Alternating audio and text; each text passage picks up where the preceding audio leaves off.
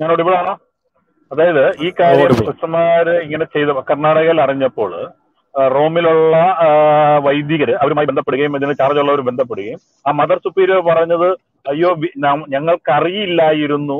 അവർ ഞങ്ങളെ സപ്പോർട്ട് ചെയ്യാൻ വന്നവരാണ്. ഞങ്ങൾക്കറിയില്ല എന്ന് അവർ. സത്യമല്ലേ? നിങ്ങൾക്കറിയില്ല ഈ എസ് ഡി പി എന്നാ ഇവരുടെ നയം എന്നാന്ന് അറിയില്ല.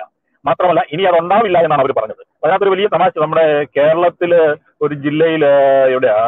കോട്ടയം. കോട്ടയം എന്ന് പറയുന്ന ഒരു ജില്ലയിൽ ഈ കഴിഞ്ഞ ദിവസം എസ് ഡി പിയുടെ നേതൃത്വത്തിൽ ഒരു സമ്മേളനം ഉണ്ടായിരുന്നു. ക്രൈസ്തവ സംരക്ഷണ സമ്മേളനം.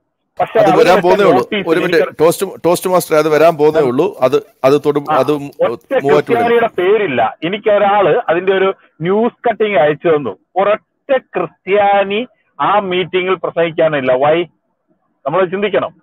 കോട്ടയം ഇത് ഹാറ്റ് സിറ്റി ഓഫ് ക്രിസ്ത്യൻസ് നമ്മൾ ഒരു രീതിയിൽ പറയാം ക്രിസ്ത്യാനികളുടെ ഒരു ഹാറ്റ് സിറ്റിയാണ് കോട്ടയം. എന്തുകൊണ്ട് അവിടെ ഇല്ല?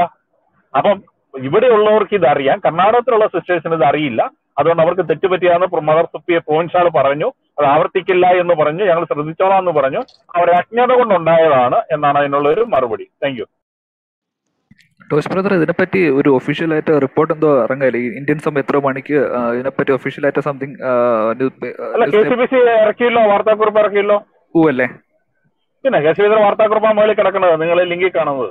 Okay okay. Thanks thanks brother. ഞാനൊന്ന് പറഞ്ഞോട്ടെ. ഹലോ? ആ പറഞ്ഞോ പറഞ്ഞോ. അതിപ്പോ ഇരുപത്തൊമ്പതാം തീയതി എന്നാണ് ഒരു ഡേറ്റ് കൊടുത്തിരിക്കുന്നത് ബുധനാഴ്ച. അത് ഇന്നലെ ആയിരുന്നല്ലോ. കോട്ടയത്താ. അത് കഴിഞ്ഞില്ലേ നമുക്കറിയില്ല. ഞാനിപ്പോ ചങ്ങനാശ്ശേരിയിലാണ്. അല്ലെങ്കിൽ പോലും അറിയില്ല. പക്ഷെ വേറൊരു ന്യൂസ് അറിഞ്ഞു. നമ്മുടെ സിസ്റ്റർ ലൂസി കളപ്പുര പങ്കെടുക്കുമെന്നൊക്കെ അവിടെ ഒരു ഒരു പായ്പാട് ചങ്ങനാശ്ശേരി പായ്പാട് ഒരു പബ്ലിസിറ്റി നടക്കുന്നുണ്ട്. പിന്നെ എറണാകുളത്ത് മറ്റേ ഷിജു ആന്റണി എന്നും പറഞ്ഞ ഒരു ഒരു ഒരു ഓപ്പോസിറ്റ് ആയിട്ടുള്ള ഒരാളുണ്ടല്ലോ. ഈ ടി വിയിലൊക്കെ ഒന്ന് ചർച്ച ചെയ്യുന്ന പുള്ളി പങ്കെടുക്കുമെന്നൊക്കെ പറയണ്ടായിരുന്നു അത് ഞാൻ എന്റെ ഒരു സുഹൃത്തിനെ ഞാൻ വിളിച്ചു ചോദിച്ചപ്പോൾ അവൻ പറഞ്ഞാണ് പുള്ളിയൊക്കെ പങ്കെടുക്കുന്നുണ്ട്. മറ്റേ മറ്റേ ഹൈക്കോർട്ടിന്റെ അവിടെയാണ് ഈ പരിപാടി. അവിടെ സ്ക്വയറിൽ വഞ്ചി സ്ക്വയറിന്റെ അവിടെയാണ് ഈ പരിപാടി. അത് വെച്ചേക്കണം. പിന്നെ ഇവിടെ സിസ്റ്റർ ലൂസി കടപ്പുരക്കലും കുറെ കന്യാസ്ത്രീകളൊക്കെ പങ്കെടുക്കുമെന്നൊക്കെയാണ് പറഞ്ഞേക്കണേന്ന് നമുക്ക് എന്റെ അടുത്ത് സുഹൃത്ത് ഇവിടുത്തെ വായ്പാടുള്ള ഒരു ഒരു എസ് ഡി ബി ഐക്കാരൻ പറഞ്ഞാണ്. വന്ന ഇന്നലെ ആയിരുന്നു ഇരുപത്തി ഒമ്പതാം തീയതി കണ്ടായിരുന്നു അതിന്റെ ഡേറ്റ് കൊടുത്തിരിക്കുന്നത്. ഇവിടെയൊക്കെ പോസ്റ്റർ അടിച്ചേക്കണ അങ്ങനെ ആയിരുന്നു ഇരുപത്തി ഒമ്പതാം തീയതി ബുധനാഴ്ച ഇന്നലെ ആയിരുന്നല്ലോ ഇന്ന് മുപ്പതല്ലേ തീയതി. മുപ്പതാണോ? അറിയില്ല. ഞാൻ ഡേറ്റ് ഒന്നും നോക്കിയില്ല ഇന്ന് മുപ്പതാണ്. മുപ്പത് മുപ്പത്. മുപ്പതാണ്. പിന്നെ ഇരുപത്തി ഒമ്പതാം തീയതി കൊടുത്തേക്കണേ. എന്താണെന്ന് കൂടുതൽ അറിയില്ല. ഞാൻ ടി വി ഏടായതുകൊണ്ട് ടി വി കാണാനും പറ്റാത്ത സ്ഥിതിയായിപ്പോയി. ഓക്കെ. അല്ല ഇതിനകത്ത് സിസ്റ്റർ സിസ്റ്റർ ലൂസി കളപ്പുരയിലൊക്കെ ഇതിനകത്ത് അനുപമയൊക്കെ ഇതിനകത്ത് ഉൾപ്പെടുമോ സപ്പോർട്ടുമായിട്ട് ചെല്ലുമോ എന്നുള്ളതാണ് ഞാൻ പ്രതീക്ഷയോടെ നോക്കി നിൽക്കുന്നത്. കാരണം പാലാ ബിഷപ്പിന്റെ പറയാനുള്ളത് ഔദ്യോഗികമായിട്ട് പറയാനുള്ളത് ഇതിന്റെ അൾട്ടിമേറ്റ് അതോറിറ്റി എന്ന് പറയുന്നത് K C B C Kerala Catholic bishop conference Kerala Catholic bishop conference ഇന്നലെ തന്നെ അതിന്റെ മറുപടി പറഞ്ഞ ഞാൻ ഒടിവിലാണോ ആണോ? അതെ അതെ അതെ അതെ ഓക്കെ. കേരള കാത്തലിക് ബിഷപ്പ് കോൺഫറൻസിന് വേണ്ടി ഇന്നലെ തന്നെ അതിന്റെ മറുപടി വന്നിട്ടുണ്ട്. മറുപടിയിൽ ബിഷപ്പ് കോൺഫറൻസിന്റെ വക്താവായ അല്ലെങ്കിൽ അറിയാലോ വക്താവ് എന്ന് പറയുമ്പോൾ നമുക്കറിയാം. അപ്പൊ ആ വക്താവായ സി എം ഐ ഫാദർ ഫാദറിന്റെ സ്റ്റേറ്റ്മെന്റ് ആണ് ഇന്നലെ വന്നിരിക്കുന്നത്. Father Michael Pulikkal C M I secretary K C B C ഐക്യ ജാഗ്രതാ കമ്മീഷൻ. അതിനകത്ത് അദ്ദേഹം എടുത്തു പറഞ്ഞിരിക്കുന്ന ഒരു കാര്യം ഇതാണ്. ഇസ്ലാമിക തീവ്രവാദ സംഘാട സഹായം ക്രൈസ്തവർക്ക് ആവശ്യമില്ല. തീവ്ര ഇസ്ലാമിക സംഘടനയായ പോപ്പുലർ ഫ്രണ്ടിന്റെ രാഷ്ട്രീയ മുഖമായ S D P I democratic party of India കഴിഞ്ഞ നാളുകളിൽ ക്രൈസ്തവർക്ക് വേ ഈ ക്രൈസ്തവർക്ക് വേണ്ടി സംസാരിക്കാൻ ആവേശം പ്രകടിപ്പിക്കുന്നത് തികഞ്ഞ വിരോധാഭാസമാണ്. ഇതാണ് കെ സി ബി പറഞ്ഞിരിക്കുന്നത്. തികഞ്ഞ വിരോധാഭാസമാണ്. നിരോധിത സംഘടനയായ സിമിയുടെ സ്റ്റുഡൻസ് ഇസ്ലാമിക് മൂവ്മെന്റും ഈ സിമി ഇന്ത്യയുടെ മറ്റൊരു മുഖമാണ് പോപ്പുലർ ഫ്രണ്ട് എന്നൊക്കെ പറഞ്ഞ് പറഞ്ഞ് പറഞ്ഞ് ഒരു കുറച്ചുണ്ട് ആ വാർത്ത. പറഞ്ഞിട്ട് തീവ്ര ഹിന്ദുത്വവാദികളുടെ ഭാഗത്തുനിന്നുള്ള ആസൂത്രണ അതിക്രമങ്ങൾ ക്രൈസ്തവ സമൂഹങ്ങൾക്കും സ്ഥാപനങ്ങൾക്കും ദേവാലയങ്ങൾക്കുമെതിരെ വർദ്ധിച്ചു കൊണ്ടിരിക്കുന്നതോടൊപ്പം പുതിയ നിയമനിർമ്മാണങ്ങൾ നടത്തിയും അനാവശ്യ നിയമങ്ങൾ അടിച്ചു കൂടെ പ്രശ്ന മത്സരിക്കുകയാണ് എന്നൊക്കെ ഇങ്ങനെ പറഞ്ഞു വന്നിട്ട് വിവിധ രീതിയിൽ മതമൂല്യവാദികളുടെയും തീവ്രവാദികളുടെയും ഭാഗത്തു നിന്നുള്ള അതിക്രമങ്ങൾ കേരളത്തിനും കേരളത്തിന് വെളിയിൽ വിവിധ സംസ്ഥാനം നേരിട്ടുകൊണ്ടിരിക്കുന്ന ക്രൈസ്തവർ താൽക്കാലിക നേട്ടത്തിനായി എസ് ഡി പി ഐ പോലെയുള്ള ഒരു വർഗീയ സംഘടനയുടെ സഹായം പ്രതീക്ഷിക്കുന്നില്ല എന്നറിയിക്കുന്നു. Father Pulikkal sorry father Michael Pulikkal C M I secretary K C B C ഐക്യ ജാഗ്രതാ സമിതി. അപ്പോൾ ഏത് ഫാദർ ഷിജു പങ്കെടുത്താലും ഏത് അനുഭവം പങ്കെടുത്താലും ക്രൈസ്തവർക്ക് വേണ്ടി ആ ഒരു authority K C B C Kerala Catholic bishop conference. ആണ് അവരിത് പറഞ്ഞാൽ പിന്നെ ക്രിസ്ത്യാനികൾ അതിനകത്ത് ഇല്ലെന്ന അർത്ഥം. പിന്നെ കാശ് കൊടുത്ത് മേടിച്ച് നമുക്ക് എന്തിനേം കിട്ടൂല. അത് നമ്മുടെ വിഷയമല്ല. അതുകൊണ്ട് ആ കാര്യത്തിൽ വിട്ടേക്കുക. ഓക്കെ അടുത്ത ആളിലേക്ക് നമുക്ക് പോവാം. ഞാൻ പറഞ്ഞോട്ടെ? ആ പറഞ്ഞോ പറഞ്ഞോ. സുപ്രാതെ ഇവിടെ ഉണ്ടോ സുപ്രാതെ ആ ഇല്ല ആൾ ഓക്കെ. ആ പറഞ്ഞോളൂ പറഞ്ഞോളൂ. ആക്ച്വലി എനിക്ക് പറയാനുള്ളത് ഈ ജിഹാദികൾക്ക് ഒരിക്കലും കണ്ണു തുറക്കൂല എന്നുള്ളതാണ് എനിക്ക് ചോദിക്കാനുള്ളത്. കാരണം എന്ന് വെച്ച് കഴിഞ്ഞാൽ ഇപ്പം ക്രിസ്ത്യാനികൾക്ക് തന്നെ എല്ലാവരും കൂടെ ഒരു യൂണിറ്റിയിലേക്ക് വന്നപ്പോഴത്തേക്കും ആപ്പാടെ ഒരു വേരറ്റ് നിൽക്കുന്ന മരത്തിന്റെ അവസ്ഥയാണ്. ഇനി അടുത്ത് ഹിന്ദുക്കളും കൂടെ ഒറ്റയടിക്ക് എല്ലാരും കൂടെ ഒരുമിച്ച് ആയി കഴിഞ്ഞു കഴിഞ്ഞാൽ ഇത് ഈ ലോകത്ത് തന്നെ കാണുമെന്നുള്ളതാണ് ഡൗട്ട് ഈ ഇനിയും പിന്നെ ഇത് ഇതിന്റെ കൂടെ ആക്ച്വലി ഇപ്പൊ ഭാരത മാതാവിനെ ഒരു ദൈവമായി കാണുന്ന ക്രിസ്ത്യാനി അല്ല ആക്ച്വലി മുസ്ലിങ്ങളും കൂടെ നമ്മളെ കൂടെ ചേർന്ന് കഴിഞ്ഞാൽ ഇത് പിന്നെ ഏത് ലോകത്ത് എവിടെ ഉണ്ടാവും എന്ന് അറിഞ്ഞൂടാ അത് അവർ ചിന്തിച്ചാൽ ചിന്തിക്കാതിരിക്കുന്നത് നമുക്ക് നല്ലതായിരിക്കും. പിന്നെ എനിക്ക് പറയാനുള്ളത് ഇപ്പൊ ഈ ഹെഡിങ്ങിന്റെ ഇത് വെച്ചാണെങ്കിൽ ഇതിപ്പോ കർണാടകയിലെ ആന്റി കൺവേർഷൻ ബില്ല് വെച്ചാണെന്ന് അതാണെന്നാണ് ഞാൻ മനസ്സിലാക്കുന്നത്. അപ്പോ ആക്ച്വലി എനിക്ക് പറയാനുള്ളത് ഇപ്പം നമ്മളെ ഇതിൽ തന്നെ ഇപ്പൊ ക്രിസ്ത്യൻസ് ഹിന്ദു കുടുംബത്തിൽ നിന്നും കല്യാണം കഴിക്കുന്നുണ്ട്. ഇല്ലാതെ തിരിച്ചും ഇത് ചെയ്യുന്നുണ്ട്. പക്ഷെ ഒരു കുടുംബത്തിലും ഞാൻ കാണുന്നില്ല. അവരെ ഫോഴ്സ് ചെയ്ത് അവരെ അതിലേക്ക് കൊണ്ടുപോകുന്നതോ ഇല്ലെങ്കിൽ അതൊരു മതം മാറാതിരിക്കുന്നത് ഒരു തെറ്റായിട്ടോ ആരും ഇന്ന് വരെ പറഞ്ഞതായിട്ട് ഞാൻ കേട്ടിട്ടില്ല. പക്ഷെ അതേസമയം ഇതിനിടയ്ക്കാണ് മറ്റേ ഒരു നേതാവ് പ്രസംഗിച്ചത്. ഇങ്ങനെ കൺവേർട്ട് ആയിട്ട് ആക്ച്വലി മുസ്ലിം ആവാതിരുന്നു കഴിഞ്ഞാൽ അത് വ്യഭിചാരമാണെന്ന് പറഞ്ഞത് ഈ ഇടയ്ക്കാണ്. അത് സ്വയം എല്ലാവരും ഒന്ന് ചിന്തിച്ചാൽ നന്നായിരിക്കും. താങ്ക് യു ഇത് ടോസ് മാസ്റ്റർ എനിക്ക് ഒരു മിനിറ്റ് ഒരു കാര്യം പറയാനുണ്ട്. ഹലോ? ഞാൻ വിജയ് വിജയ് വിജയ്. ഹാരിസ് ഹാരിസ് വരാ ഹാരിസ്. ഓക്കെ അല്ലല്ല വിജയ് വിജയ്. ഞാൻ വിജയ് വിജയ്. ആ എനിക്ക് പറയാനുള്ളത് നമ്മൾ രണ്ടായിരം വർഷത്തോളം ഏകദേശം രണ്ടായിരം വർഷത്തോളം ഇവിടെ അമിക്കബിളി വളരെ ഹാപ്പി ആയിട്ട് ഇവിടെ ജീവിച്ചിട്ടുണ്ട്. ഹിന്ദു ഭൂരിപക്ഷമായിരുന്നത് കൊണ്ട്. വളരെ ഹാപ്പി ആയിട്ട്. മൈനർ ഇൻസിഡൻസ് നടന്നിട്ടുണ്ട്. അതിപ്പോ നമ്മുടെ വീട്ടിൽ നടക്കത്തില്ലേ? ചെറിയ വഴക്കും ഇതുമെല്ലാം വീട്ടിൽ നടക്കത്തില്ലേ? അതുപോലുള്ള മൈനർ ഇൻസിഡൻസ് നടന്നിട്ടുണ്ട്. ഇത്രയും വർഷക്കാലം ഏതെങ്കിലും ഒരു major riots between Hindus communal riots Hindus and Christians ഇവിടെ നടന്നിട്ടുണ്ടോ? ഇല്ല. ദാറ്റ് മീൻസ് യുനോ നമുക്ക് ഒരുമിച്ച് പോകാൻ സാധിക്കും. ഈ ഒരുമ നമ്മൾ ഇനി രണ്ടായിരം വർഷം ഇതുപോലെ നമ്മൾ ജീവിക്കണമെങ്കിൽ നമ്മൾ ഇതുപോലെ യൂണിറ്റി ആയിട്ട് നിൽക്കണം. ഈ മറ്റ് ഇങ്ങനെ മതങ്ങളെ അസഹിഷ്ണുതയായി കാണുന്നവർ മെജോറിറ്റി ആകാൻ പാടില്ല. അത് ആകാതിരിക്കാൻ നമ്മൾ ശ്രദ്ധിക്കണം. അതിനു വേണ്ടി നമുക്ക് ഫേവറായിട്ട് നിൽക്കുന്ന ഒരു ഗവൺമെന്റിനെ ജയിപ്പിക്കാൻ ജനാധിപത്യത്തിലെ ഏറ്റവും വലിയ ശക്തി എന്ന് പറയുന്ന വോട്ടവകാശമാണ്. ആ വോട്ടവകാശം നമ്മൾ വിനിയോഗിക്കണം. നമുക്ക് സുഖമായിട്ട് ജീവിക്കാൻ അടുത്ത രണ്ടായിരം വർഷം നമ്മുടെ വരും തലമുറകൾക്ക് സുഖമായിട്ട് ജീവിക്കാനുള്ള ആ ഒരു പവർ നമ്മൾ വിനിയോഗിക്കണം ഫേവറായിട്ട് minor incidence just forget about ഒരു മേശയ്ക്ക് ചുറ്റും ഇരുന്ന് നമ്മൾ സംസാരിച്ചാൽ തീരാവുന്നതേ ഉള്ളൂ ഹിന്ദുസും ക്രിസ്ത്യൻസുമായിട്ടുള്ള ഇത്. കാരണം നമ്മൾ ഐഡിയോളജിക്കലി നമ്മളാരും വാശി പിടിക്കുന്നവരല്ല. ഇങ്ങനെ തന്നെ ജീവിക്കണം അങ്ങനെ തന്നെ ജീവിക്കണം എന്ന് വാശി പിടിക്കുന്നവരല്ലാത്തത് കൊണ്ട് നമുക്ക് ഒരുമിച്ച് പോകാൻ പറ്റും. കഴിഞ്ഞ രണ്ടായിരം വർഷത്തെ ഹിസ്റ്ററി ഏതാണ്? അടുത്ത രണ്ടായിരം വർഷവും ഇങ്ങനെ തന്നെ നമുക്ക് ജീവിക്കാൻ പറ്റും. താങ്ക് യു വിജയ് എനിക്കൊരു കാര്യം ആഡ് ചെയ്യാനുള്ളത്. ഇവിടെ ഞങ്ങൾ ഇപ്പം ഇവിടെ ഇരിക്കുന്ന ഞങ്ങൾ ഒരു നിൽക്കുന്ന ആരും ഇവിടുത്തെ മുസ്ലിം സഹോദരന്മാരെ ഒറ്റപ്പെടുത്തിക്കൊണ്ട് ഒറ്റപ്പെടുത്തിയിട്ട് ഒരു ഭാരതം കെട്ടിപ്പടുക്കണമെന്ന് ആഗ്രഹിക്കുന്നവരോ പറയുന്നവരോ അല്ല ഞങ്ങൾ എതിർക്കുന്നത് ഇസ്ലാമിസ്റ്റിനെയാണ്. ഇസ്ലാമിസ്റ്റുകളും മുസ്ലിമും രണ്ടും രണ്ടാണ്. നല്ല മനുഷ്യരായി മാനവ ഐക്യത്തോടുകൂടി സൗഹാർദ്ദത്തോടുകൂടി ജീവിക്കുകയും ജീവിക്കാൻ ആഗ്രഹിക്കുകയും ചെയ്യുന്ന ഒരുപാട് നമ്മുടെ മാതൃരാജ്യത്തിന്റെ സന്തതികളായ മുസ്ലിം സഹോദരന്മാരുണ്ട്. അവരും ഈ ഭാരതത്തിന്റെ മക്കളാണ് ഭാരതത്തിന്റെ അസറ്റാണ്. അവരെ ഒറ്റപ്പെടുത്താനോ നീക്കി നിർത്താനോ നമ്മൾ ആരും ആഗ്രഹിക്കുന്നില്ല. അതിനുള്ള ഏതൊരു നീക്കത്തെയും നമ്മൾ എതിർക്കുന്നതാണ്.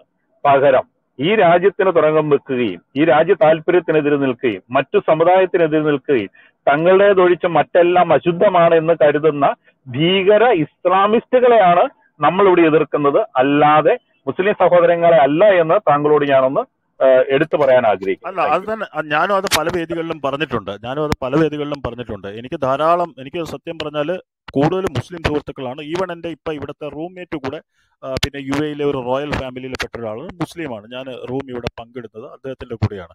ഞാൻ എപ്പോഴും പറഞ്ഞിരിക്കുന്നത് തീവ്രവാദികൾക്ക് എഗെയിൻസ്റ്റ് ആണ്. ഞാൻ പറയുന്നത് അവരുടെ കയ്യിൽ ഇപ്പം കേരളത്തിന്റെ ഭരണം അവർക്ക് ഫേവറേറ്റ് ആയിട്ടാണ് നിൽക്കുന്നത്. കോൺഗ്രസ് വന്നാലും കമ്മ്യൂണിസ്റ്റ് വന്നാലും പ്രോ തീവ്രമായിട്ടുള്ള ഇസ്ലാമിക അവർക്ക് ഫേവറായിട്ട് നിൽക്കുന്നു. അതാണ് ഞാൻ പറയാൻ ഉദ്ദേശിച്ചത്. Thank you okay okay P T ആറോട് അനുസരിച്ച് ആരാ അടുത്തത്? എനിക്ക് ഹാരിസ് ഒരുപാട് പ്രാവശ്യം ബ്ലിങ്ക് ചെയ്തു. ഹാരിസിന് മുമ്പ് ഹാരിസ് എന്നാ ഹാരിസ് സംസാരിക്കും ഹാരിസിന്. അഡ്വക്കേറ്റ് സുമ ഇപ്പൊ വരാം കേട്ടോ. സോറി ഞാൻ ഹാരിസിന് ഒന്ന് കൊടുത്തു വിഷമിക്കുക. ഇപ്പൊ വരാം. ഹാരിസൻ പറയൂ.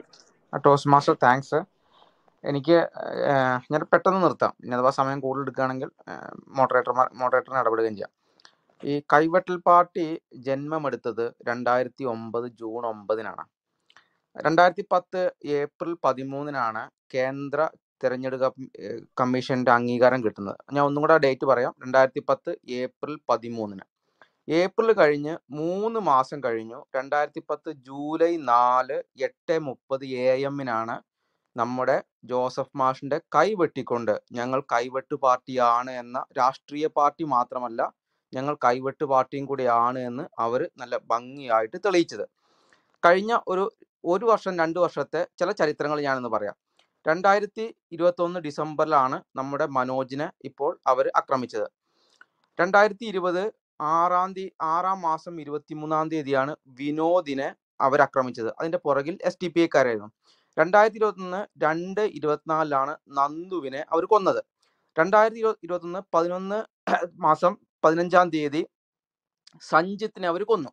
രണ്ടായിരത്തി ഇരുപത്തൊന്ന് പന്ത്രണ്ട് ഒമ്പതിനാണ് രഞ്ജിത്തിനെ അവർ കൊല്ലുന്നത്. ഇതിന്റെ എല്ലാം പുറകിലും എസ് ടി പി ഐക്കാരായിരുന്നു ഞങ്ങൾ രാഷ്ട്രീയ പാർട്ടി മാത്രമല്ല കൈവെട്ടും അത്യാവശ്യം തലവെട്ടും കാൽവെട്ടും എല്ലാം ഞങ്ങളുടെ കയ്യിലുണ്ട് എന്ന് വളരെ കൃത്യമായിട്ട് പ്രൂവ് ചെയ്ത ഒരു പാർട്ടിയാണ് അത്യാവശ്യമല്ല അത് മാത്രമാണ് ഞങ്ങളുടെ പരിപാടി എന്നാണ് അതിന്റെ അർത്ഥം. ആ അതെ ഓക്കെ. അത് അതിന് ഞാൻ ഉദാഹരണം പറയണത് ഒരു എട്ടടി മൂർക്കന്റെ ഉദാഹരണമാണ്. എട്ടടി മൂർക്കന്റെ കടി കിട്ടിയാൽ എട്ടടി മാത്രമേ നടക്കാൻ പറ്റുള്ളൂ എന്നാണ് സാധാരണ നമ്മൾ പറയണത്. അത് ഒമ്പതാമത്തെ അടി ആകുമ്പോഴത്തേനും അവൻ ചത്തുപോകും അത് ഇസ്ലാമിനെ പുലുകി കഴിഞ്ഞാൽ ഏകദേശം ഇതേ ഉദാഹരണമാണ്. അത് എട്ടടിയേ നടക്കുകയുള്ളൂ.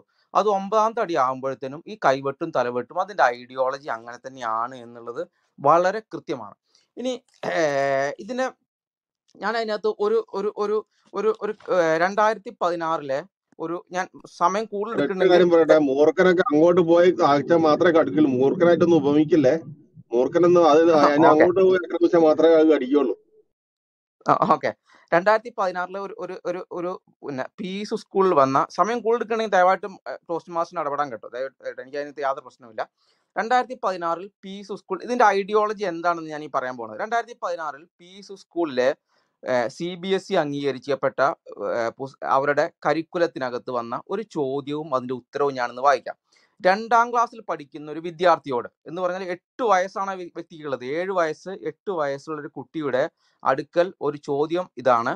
നിങ്ങളുടെ കുഞ്ഞ് മുസ്ലിം ആകാൻ തീരുമാനിച്ചാൽ നിങ്ങൾ നൽകുന്ന ഉപദേശം എന്ത്? അതിന്റെ ഓപ്ഷൻസ് ആണ്. ഉടൻ ഒന്നാമത്തെ options number A number one ഉടൻ അമ്മ അമ്മ അഹമ്മദ് അല്ലെങ്കിൽ സാറ എന്ന് പേരാക്കി മാറ്റും. രണ്ട് കഴുത്തിലെ കുരിശുമാല മാറ്റാൻ പറയുക. മൂന്ന് ഷഹാദ ചൊല്ലാൻ പറയുക. നാല് ഹലാൽ ചിക്കൻ കഴിക്കാൻ പറയുക. അഞ്ചാമത്തത് അമുസ്ലിം മാതാപിതാക്കളുടെ കയ്യിൽ നിന്നും ഓടി രക്ഷപ്പെടാൻ പറയുക. ഇനി ഈ അഞ്ച് ഓപ്ഷനിൽ ഒരെണ്ണം തിരഞ്ഞെടുക്കുക എന്നുള്ളതല്ല. ഈ അഞ്ച് ഓപ്ഷനിൽ ഓർഡർ ആക്കുക എന്നുള്ളതാണ്. എന്ന് പറഞ്ഞാൽ ഒന്നാമത്തത് ഷഹാദി ആയിരിക്കാം. ബാക്കി എന്താന്ന് എനിക്ക് അറിയണില്ല. ഈ ഓർഡറിലോട്ട് കൊണ്ടുവരാൻ ഒരു എട്ട് വയസ്സുള്ള ഒരു കുട്ടിയുടെ അടുത്തേക്ക് മതം മാറ്റം എന്ന് പറയുന്ന ഒരു സംഗതി ഇഞ്ചക്ട് ചെയ്ത് അവനെ അവന്റെ മാതാപിതാക്കളിൽ നിന്നും അകറ്റണം അവന്റെ കഴുത്തിലെ കുരിശുമാല മാറ്റാനും പറയണം ഉടനെ പേര് മാറ്റാനും പറയണം ഷഹാദ എല്ലാം പറയണം ഹലാൽ ചിക്കൻ കഴിക്കാൻ. ഞാനത് വായിച്ചില്ലെന്ന് തോന്നുന്നുണ്ട്. ഹലാൽ ചിക്കൻ കഴിക്കാൻ പറയുക. നാലാമത്തെ ഓപ്ഷനാണ് ഹലാൽ ചിക്കൻ കഴിക്കാൻ പറയുക. ഇങ്ങനെ ഇങ്ങനെ ഓപ്ഷൻ കൊടുത്ത് അവന്റെ തലയ്ക്കകത്തോട്ട് ഇഞ്ചക്ട് ചെയ്യുകയാണെങ്കിൽ അവൻ പിന്നെ എസ് ടി പി ഐ അല്ലാതെ പിന്നെ ഏത് പാർട്ടിയിൽ അവൻ അംഗത്വം ചേരുമെന്നുള്ളതാണ് നമ്മൾ ചിന്തിക്കേണ്ടത്. ഇനി ഇത് നമ്മുടെ നാട്ടിലാണ് നടക്കുന്നത് ഇത് പി എസ് സ്കൂളിൽ രണ്ടായിരത്തി പതിനാറിൽ M M Akbar M M അക്ബറിന്റെ സ്കൂളിലെ ചോദ്യ പഠിപ്പിച്ച എന്താണ് അവരുടെ പുസ്തകത്തിൽ വന്ന ഒരു ചോദ്യവും അതിന്റെ ഉത്തരവുമാണ്. ഇത് താങ്കൾ അറിയണമെങ്കിൽ നമ്മുടെ എം എം അക്ബറും അഭിലാഷും നടത്തുന്ന ഒരു ഒരു ചർച്ചയുണ്ട്. യൂട്യൂബ് കിടക്കുന്നുണ്ടത്. നിങ്ങൾ നിങ്ങളിത് കണ്ടു കഴിഞ്ഞാൽ അതിനകത്ത് അഭിലാഷ് ഈ ചോദ്യം ചോദിക്കുന്നുണ്ട്. എം എം അക്ബറിനോട്. ഈ ഞാനിത് എന്റെ കയ്യിൽ നിന്നിട്ട് പറഞ്ഞല്ല നിങ്ങൾക്ക് യൂട്യൂബിൽ അഭിലാഷ് നമ്മുടെ അഭിലാഷ് ഇപ്പോൾ മീഡിയ വണിലാണ് പ്രവർത്തിക്കുന്നത്. അന്ന് അദ്ദേഹം എനിക്ക് തോന്നുന്നത് റിപ്പോർട്ടർ ചാനൽ എങ്ങാണ്ടായിരുന്നു ആഹ് നമ്മുടെ ഒരു മിനിറ്റ് ഒരു മിനിറ്റ്. ഹരിസ് ഒരു മിനിറ്റ്. സുപ്രഭാത് ഇവിടെ ഉണ്ട് ആരെല്ലാം ഉണ്ടോ? ഞാനൊന്ന് ഒരു ഒരു കോൾ എടുത്തോട്ടെ. ഹലോ? വിക്കി ഉണ്ട് വിക്കി? ഉണ്ടോ ഉണ്ട്. ഉണ്ട് നോക്കിക്കോളാവോ ആ നോക്കാം. ഓക്കെ സംസാരിക്കാമോ അല്ലെങ്കിൽ സമയം മതി കേട്ടോ. ഇല്ല ഹാരിസ് പറയും ഹാരിസ് പറയും. കണ്ടിന്യൂ ഹാരിസ് സംസാരിച്ചു? ഹാരിസ് സംസാരിക്കും കേട്ടോ അതാണ് നല്ലത്. കൊച്ചു പറയും. ഓക്കെ വളരെ ഇൻഫോർമേഷൻ ആണ്. കണ്ടിന്യൂ ഓക്കെ അപ്പോൾ ഇങ്ങനെ ഇത് ഇത് ഞാൻ എന്റെ കയ്യിൽ നിന്ന് എടുത്തതല്ല. ഇത് യൂട്യൂബിൽ അഭിലാഷും എം എം അക്ബറും തമ്മിൽ നടക്കുന്ന ഒരു ഇന്റർവ്യൂക്കകത്ത് എം എം എം എം അക്ബറിനോട് ചോദിക്കുന്ന ചോദ്യമാണ്. എന്റെ അതിനകത്ത് എം എം അക്ബർ പറയുന്ന ഒരു മറുപടിയാണ് അതിന- അതിനേക്കാളും വലിയ രസ- രസകരം. നൂറ്റി എഴുപത് സ്കൂളുകളിലാണ് ഇനി സി ബി എസ് ഇ പാകിസ്ഥാനിലും ബംഗ്ലാദേശിലൊക്കെ ഉണ്ടോ എന്ന് വെച്ചാൽ എനിക്ക് അറിയുന്നില്ല. ഇനി അത് ഉൾപ്പെടുത്തിയിട്ടാണോ എന്ന് ചോദിച്ചു കഴിഞ്ഞാൽ എനിക്ക് എനിക്ക് കൃത്യമായിട്ട് അറിയുന്നില്ല. അദ്ദേഹം അതിനകത്ത് പറയുന്നത് ഈ കരിക്കുലം ഈ പുസ്തകം നൂറ്റി എഴുപത് സ്കൂളുകളിൽ പഠിപ്പിക്കുന്നുണ്ട്. ഈ അതിന് ഇന്ത്യ മാത്രമാണോ എന്ന് എനിക്ക് അറിയുന്നില്ല കേട്ടോ. ചിലപ്പോൾ പാകിസ്ഥാനും ബംഗ്ലാദേശും എല്ലാം സി ബി എസ് ഇ അംഗീകരിക്കപ്പെട്ടതാണോ എന്ന് ചോദിച്ചു കഴിഞ്ഞാൽ എനിക്ക് എനിക്ക് കൃത്യമായിട്ട് എനിക്ക് ആ അറിവ് എനിക്കില്ല. അതിനകത്ത് എം എം ഒക്കെ പറയുന്നത് നൂറ്റി എഴുപത് സ്കൂളുകളാണ് ഈ പുസ്തകം പഠിപ്പിക്കുന്നത് പിന്നെ എങ്ങനെ ഈ മതം ഈ മതത്തിൽ പെട്ടിരിക്കുന്ന ആളുകൾ ഇങ്ങനെ ഇഞ്ചക്ട് ചെയ്യുകയാണെങ്കിൽ എങ്ങനെ തലവെട്ടാതിരിക്കും? എങ്ങനെ കാൽ വെട്ടാതിരിക്കും ഇതാണ് ഇതിന്റെ പ്രശ്നം. ഇനി നിങ്ങൾ ആരും കാണാതെ പോയ അല്ലെങ്കിൽ നമ്മൾ പലപ്പോഴും കാണാതെ പോയ ഒരു കാര്യം കൂടി പറയാം. ശ്രീകണ്ഠൻ നായരുടെ ഷോയ്ക്കകത്ത് അവരുടെ ചാനലിൽ ഒരു പ്രോഗ്രാം ഉണ്ടായിരുന്നു. ഒരു വാക്കുകൾ ഒരു വാക്കുകളെ കൊണ്ട് കസർത്ത് നടത്തുന്ന ഒരു പ്രോഗ്രാം ഉണ്ടായിരുന്നു. അതിനകത്ത് ഈ നല്ല എന്താണ് ഏറ്റവും നല്ല തഗ്ഗായിട്ട് പറയുക ഇങ്ങനെയൊക്കെയുള്ള ഒരു ഈ എന്തിനു ഒരു ഒരു നിമിഷം എന്നോ എങ്ങാണ്ട് പ്രോഗ്രാമിന്റെ പേര്. അതിനകത്ത് വന്ന അതിനകത്ത് വന്ന ഒരാളായിരുന്നു ബാസിത്ത് ആൽവി എന്ന് പറഞ്ഞ ആൾ. അവനാണ് എന്റെ ഒന്നാം സ്ഥാനം കിട്ടിയതാണ് ഞാൻ മനസ്സിലാക്കുന്നത്. ഈ ബാസിത്ത് ആൽവി എന്ന് പറയുന്ന ആളുടെ പ്രസംഗം യൂട്യൂബിൽ കിടക്കും. അദ്ദേഹം ഒരു എസ് ഡി പി ഐക്കാരനാണ്.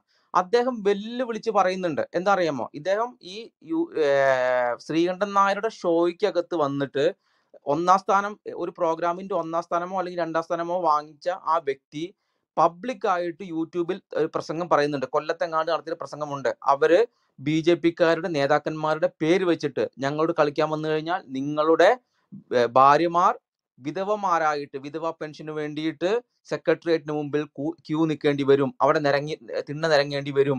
അതിനുള്ള ഇടം നിങ്ങൾ വരുത്തരുത്. ഇനി ഷാന്റെ പ്രസംഗം എന്തായിരുന്നു? ഷാൻ മരിക്കാതെ ഇരിക്കണമായിരുന്നു. അതങ്ങനെ സംഭവിച്ചു പോയി. അത് ഞാൻ അതാണ് അല്ല അവനല്ലേ? ഒരു കണ്ണാടി വെച്ചെടുത്താണ് യെസ് കണ്ണാടി വെച്ച് വരുന്നത് തന്നെ. അവൻ തന്നെ അവൻ തന്നെ. അവന്റെ പ്രസംഗം ബാഹി താൽവി എന്ന് പറഞ്ഞാൽ അടിച്ചാൽ കിട്ടും. ഈ എസ് ടി ഐ പിക്കാരുടെ എല്ലാ പ്രസംഗങ്ങളും ഇങ്ങനെ തന്നെയാണ്. ഞാൻ അതിലോട്ട് ഞാൻ പോകുന്നില്ല. ഇനി ഇതിന് ബദലായിട്ട് അടുത്ത ഇതിനകത്ത് വാക്യം ക്രിസ്ത്യാനികളുടെ അഭിപ്രായം. ക്രിസ്ത്യാനികളുടെ അഭിപ്രായം അങ്ങനെ പറയാൻ തുടങ്ങി കഴിഞ്ഞാൽ എനിക്കിവിടെ ഒരുപാട് പറയേണ്ടി വരും. ഇതിനകത്ത് ഒരു ബദലായിട്ട് ഇവിടെ പലരും സജസ്റ്റ് ചെയ്ത ഡോക്ടർ വിജയ് ഒക്കെ ഇവിടെ ഉണ്ടോന്ന് എനിക്ക് അറിയുന്നില്ല. അദ്ദേഹം പോയെന്ന് എനിക്ക് അറിയുന്നില്ല. അദ്ദേഹമൊക്കെ ബദൽ സജസ്റ്റ് ചെയ്തത് ഏറ്റവും നല്ലത് നിലവിലുള്ളതിനകത്ത് ബി ജെ പിക്ക് വോട്ട് കൊടുക്കുക എന്നുള്ളത് തന്നെയാണ്. ഇതിനകത്ത് ഏറ്റവും വലുതാണ് ഇസ്ലാമിസ്റ്റ് ഭീഷണിയിൽ പൂട്ടിയിട്ട മുപ്പത് വർഷം മുമ്പ് പൂട്ടിയിട്ട കാശ്മീരിലെ ഏറ്റവും പഴക്കമുള്ള ഒരു പള്ളി നമ്മുടെ മുമ്പിൽ തുറക്കപ്പെട്ട് മോദി നല്ലൊരു മാതൃക നമുക്ക് മുമ്പിൽ വെച്ചിട്ടുണ്ട്. അവിടെ ഞാൻ ഒരു മിനിറ്റും കൂടി കൊണ്ട് ഞാൻ ഒരു കാര്യം കൂടി പറയാം. ആയിരത്തി തൊള്ളായിരത്തി അമ്പത്തിനാല് ഒക്ടോബർ ഒമ്പതാം തീയതിയാണ് സ്പെഷ്യൽ മാരേജ് ആക്ട് നിലവിൽ വന്നത്. അന്ന് ആയിരത്തി തൊള്ളായിരത്തി അമ്പത്തി ആറിലാണ് ഹിന്ദു വിവാഹ നിയമം വന്നത്. എഴുപത്തിരണ്ടിലാണ് ക്രിസ്ത്യൻ വിവാഹ നിയമം വന്നത്. മുസ്ലിം വിവാഹമോചന നിയമം വരുന്നത് ആയിരത്തി തൊള്ളായിരത്തി മുപ്പത്തി ഒമ്പതിലാണ് ആയിരത്തി തൊള്ളായിരത്തി എൺപത്തി ആറ് മെയ് പത്തൊമ്പതിനാണ് ഷബാനു കേസ് ഉയർത്തിയ വിവാദങ്ങളുടെ പശ്ചാത്തലത്തിൽ വിവാഹമോചിത സ്ത്രീകൾക്ക് വേണ്ടി പുതിയൊരു നിയമം വരുന്നത്. ഈ പറയുന്ന ഓരോ ആക്ടുകളിലും ഈ സ്പെഷ്യൽ മാരേജ് ആക്ട് ഹിന്ദു വിവാഹ നിയമം ക്രിസ്ത്യൻ വിവാഹ നിയമം മുസ്ലിം വിവാഹമോചന നിയമം അതുപോലെ ഷബാനു കേസ് ഉയർത്തിയ അതിനുമായി ബന്ധപ്പെട്ട് രാജീവ് ഗാന്ധി പ്രധാനമന്ത്രി ആയിരിക്കുമ്പോൾ വന്ന നിയമത്തിൽ ഈ നിയമങ്ങളിലെല്ലാം ഒരു ക്ലോസ് ഉണ്ടായിരുന്നു. എന്താണെന്നറിയാമോ? ഒരു ക്ലോസ് കാശ്മീർ ജമ്മു കാശ്മീരിന് ഈ നിയമം ബാധകമല്ല. ജമ്മു കാശ്മീർ നിയമം ബാധകമല്ല. എന്നാൽ നിലവിൽ പുതിയ നിയമം ഇപ്പോൾ ഈ ഇപ്പോൾ ബില്ല് ബില്ല് പാസ്സാക്കാൻ പോവുകയാണ്. ഇപ്പോൾ നമുക്കറിയാം പ്രായത്തിന്റെ വിവാഹപ്രായം കൂട്ടി. എന്നാൽ അതിനകത്ത് ഈ ക്ലോസ് ഇല്ല. അവിടെയും എന്താണ് മോദിയുടെ ഈ നയം എന്ന് പറയുന്നത് വളരെ അംഗീകരിക്കപ്പെടേണ്ടതാണ്. അവിടെ ക്ലോസ് ഇല്ല. അവിടെ ഒരു എന്താണ് ഏക സിവിൽ കോഡിലേക്കുള്ള ആദ്യത്തെ ചവിട്ടുപടിയായിട്ട് അദ്ദേഹം പൊട്ടിച്ചിരിക്കുന്ന വെടിയാണത്. അത് എല്ലാ അർത്ഥത്തിലും നമുക്ക് വോട്ട് കൊടുക്കാൻ പറ്റിയതും എന്തെങ്കിലും തരത്തിൽ സാധ്യതകൾ ഉള്ളതുമായിട്ടുള്ള ഒരു ഒരു ഒരു കാര്യം എന്ന് പറയുന്നത് ബി ജെ പിക്ക് വോട്ട് കൊടുക്കുക എന്നുള്ളത് തന്നെയാണ്. അവസരം തന്ന പ്രിയപ്പെട്ടവരോട് നന്ദിയും പറയുന്നു. ഞാൻ കുറച്ച് സമയം കൂടുതൽ എടുത്തിട്ടുണ്ടെന്ന് തോന്നുന്നു. അതിന് ക്ഷമയും ചോദിച്ചുകൊണ്ട് ഇരിക്കുന്നു ഹാരിസിന്റെ ഹാരിസ് ബ്രദറിന്റെ ആ പറഞ്ഞ ഒരു ഭയങ്കര ഷോക്കിംഗ് ആയിരുന്നു കേട്ടോ ക്വസ്റ്റ്യൻ പേപ്പറിന്റെ കാര്യം. അത് ഞാനിപ്പോഴാണ് അറിയുന്നത് ബട്ട് ഒരിക്കലും പ്രതീക്ഷിക്കാത്ത തരത്തിലുള്ള ഇങ്ങനെയൊക്കെ ഈ നാട്ടിലാണ് നടക്കുന്നത്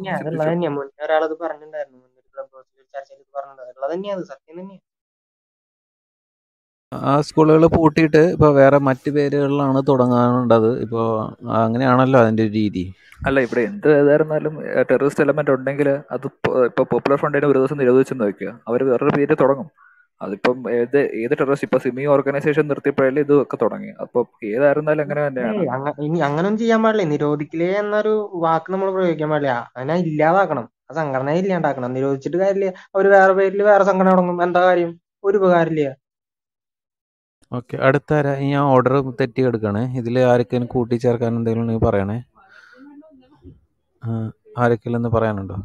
ഞാൻ ഞാൻ സംസാരിച്ചോട്ടെ? ആ പറയൂ സ്മിത പറയൂ. ഓക്കെ ഞാൻ ഈ ചർച്ചകളെല്ലാം ഇങ്ങനെ കേട്ടോണ്ടിരിക്കുവായിരുന്നു.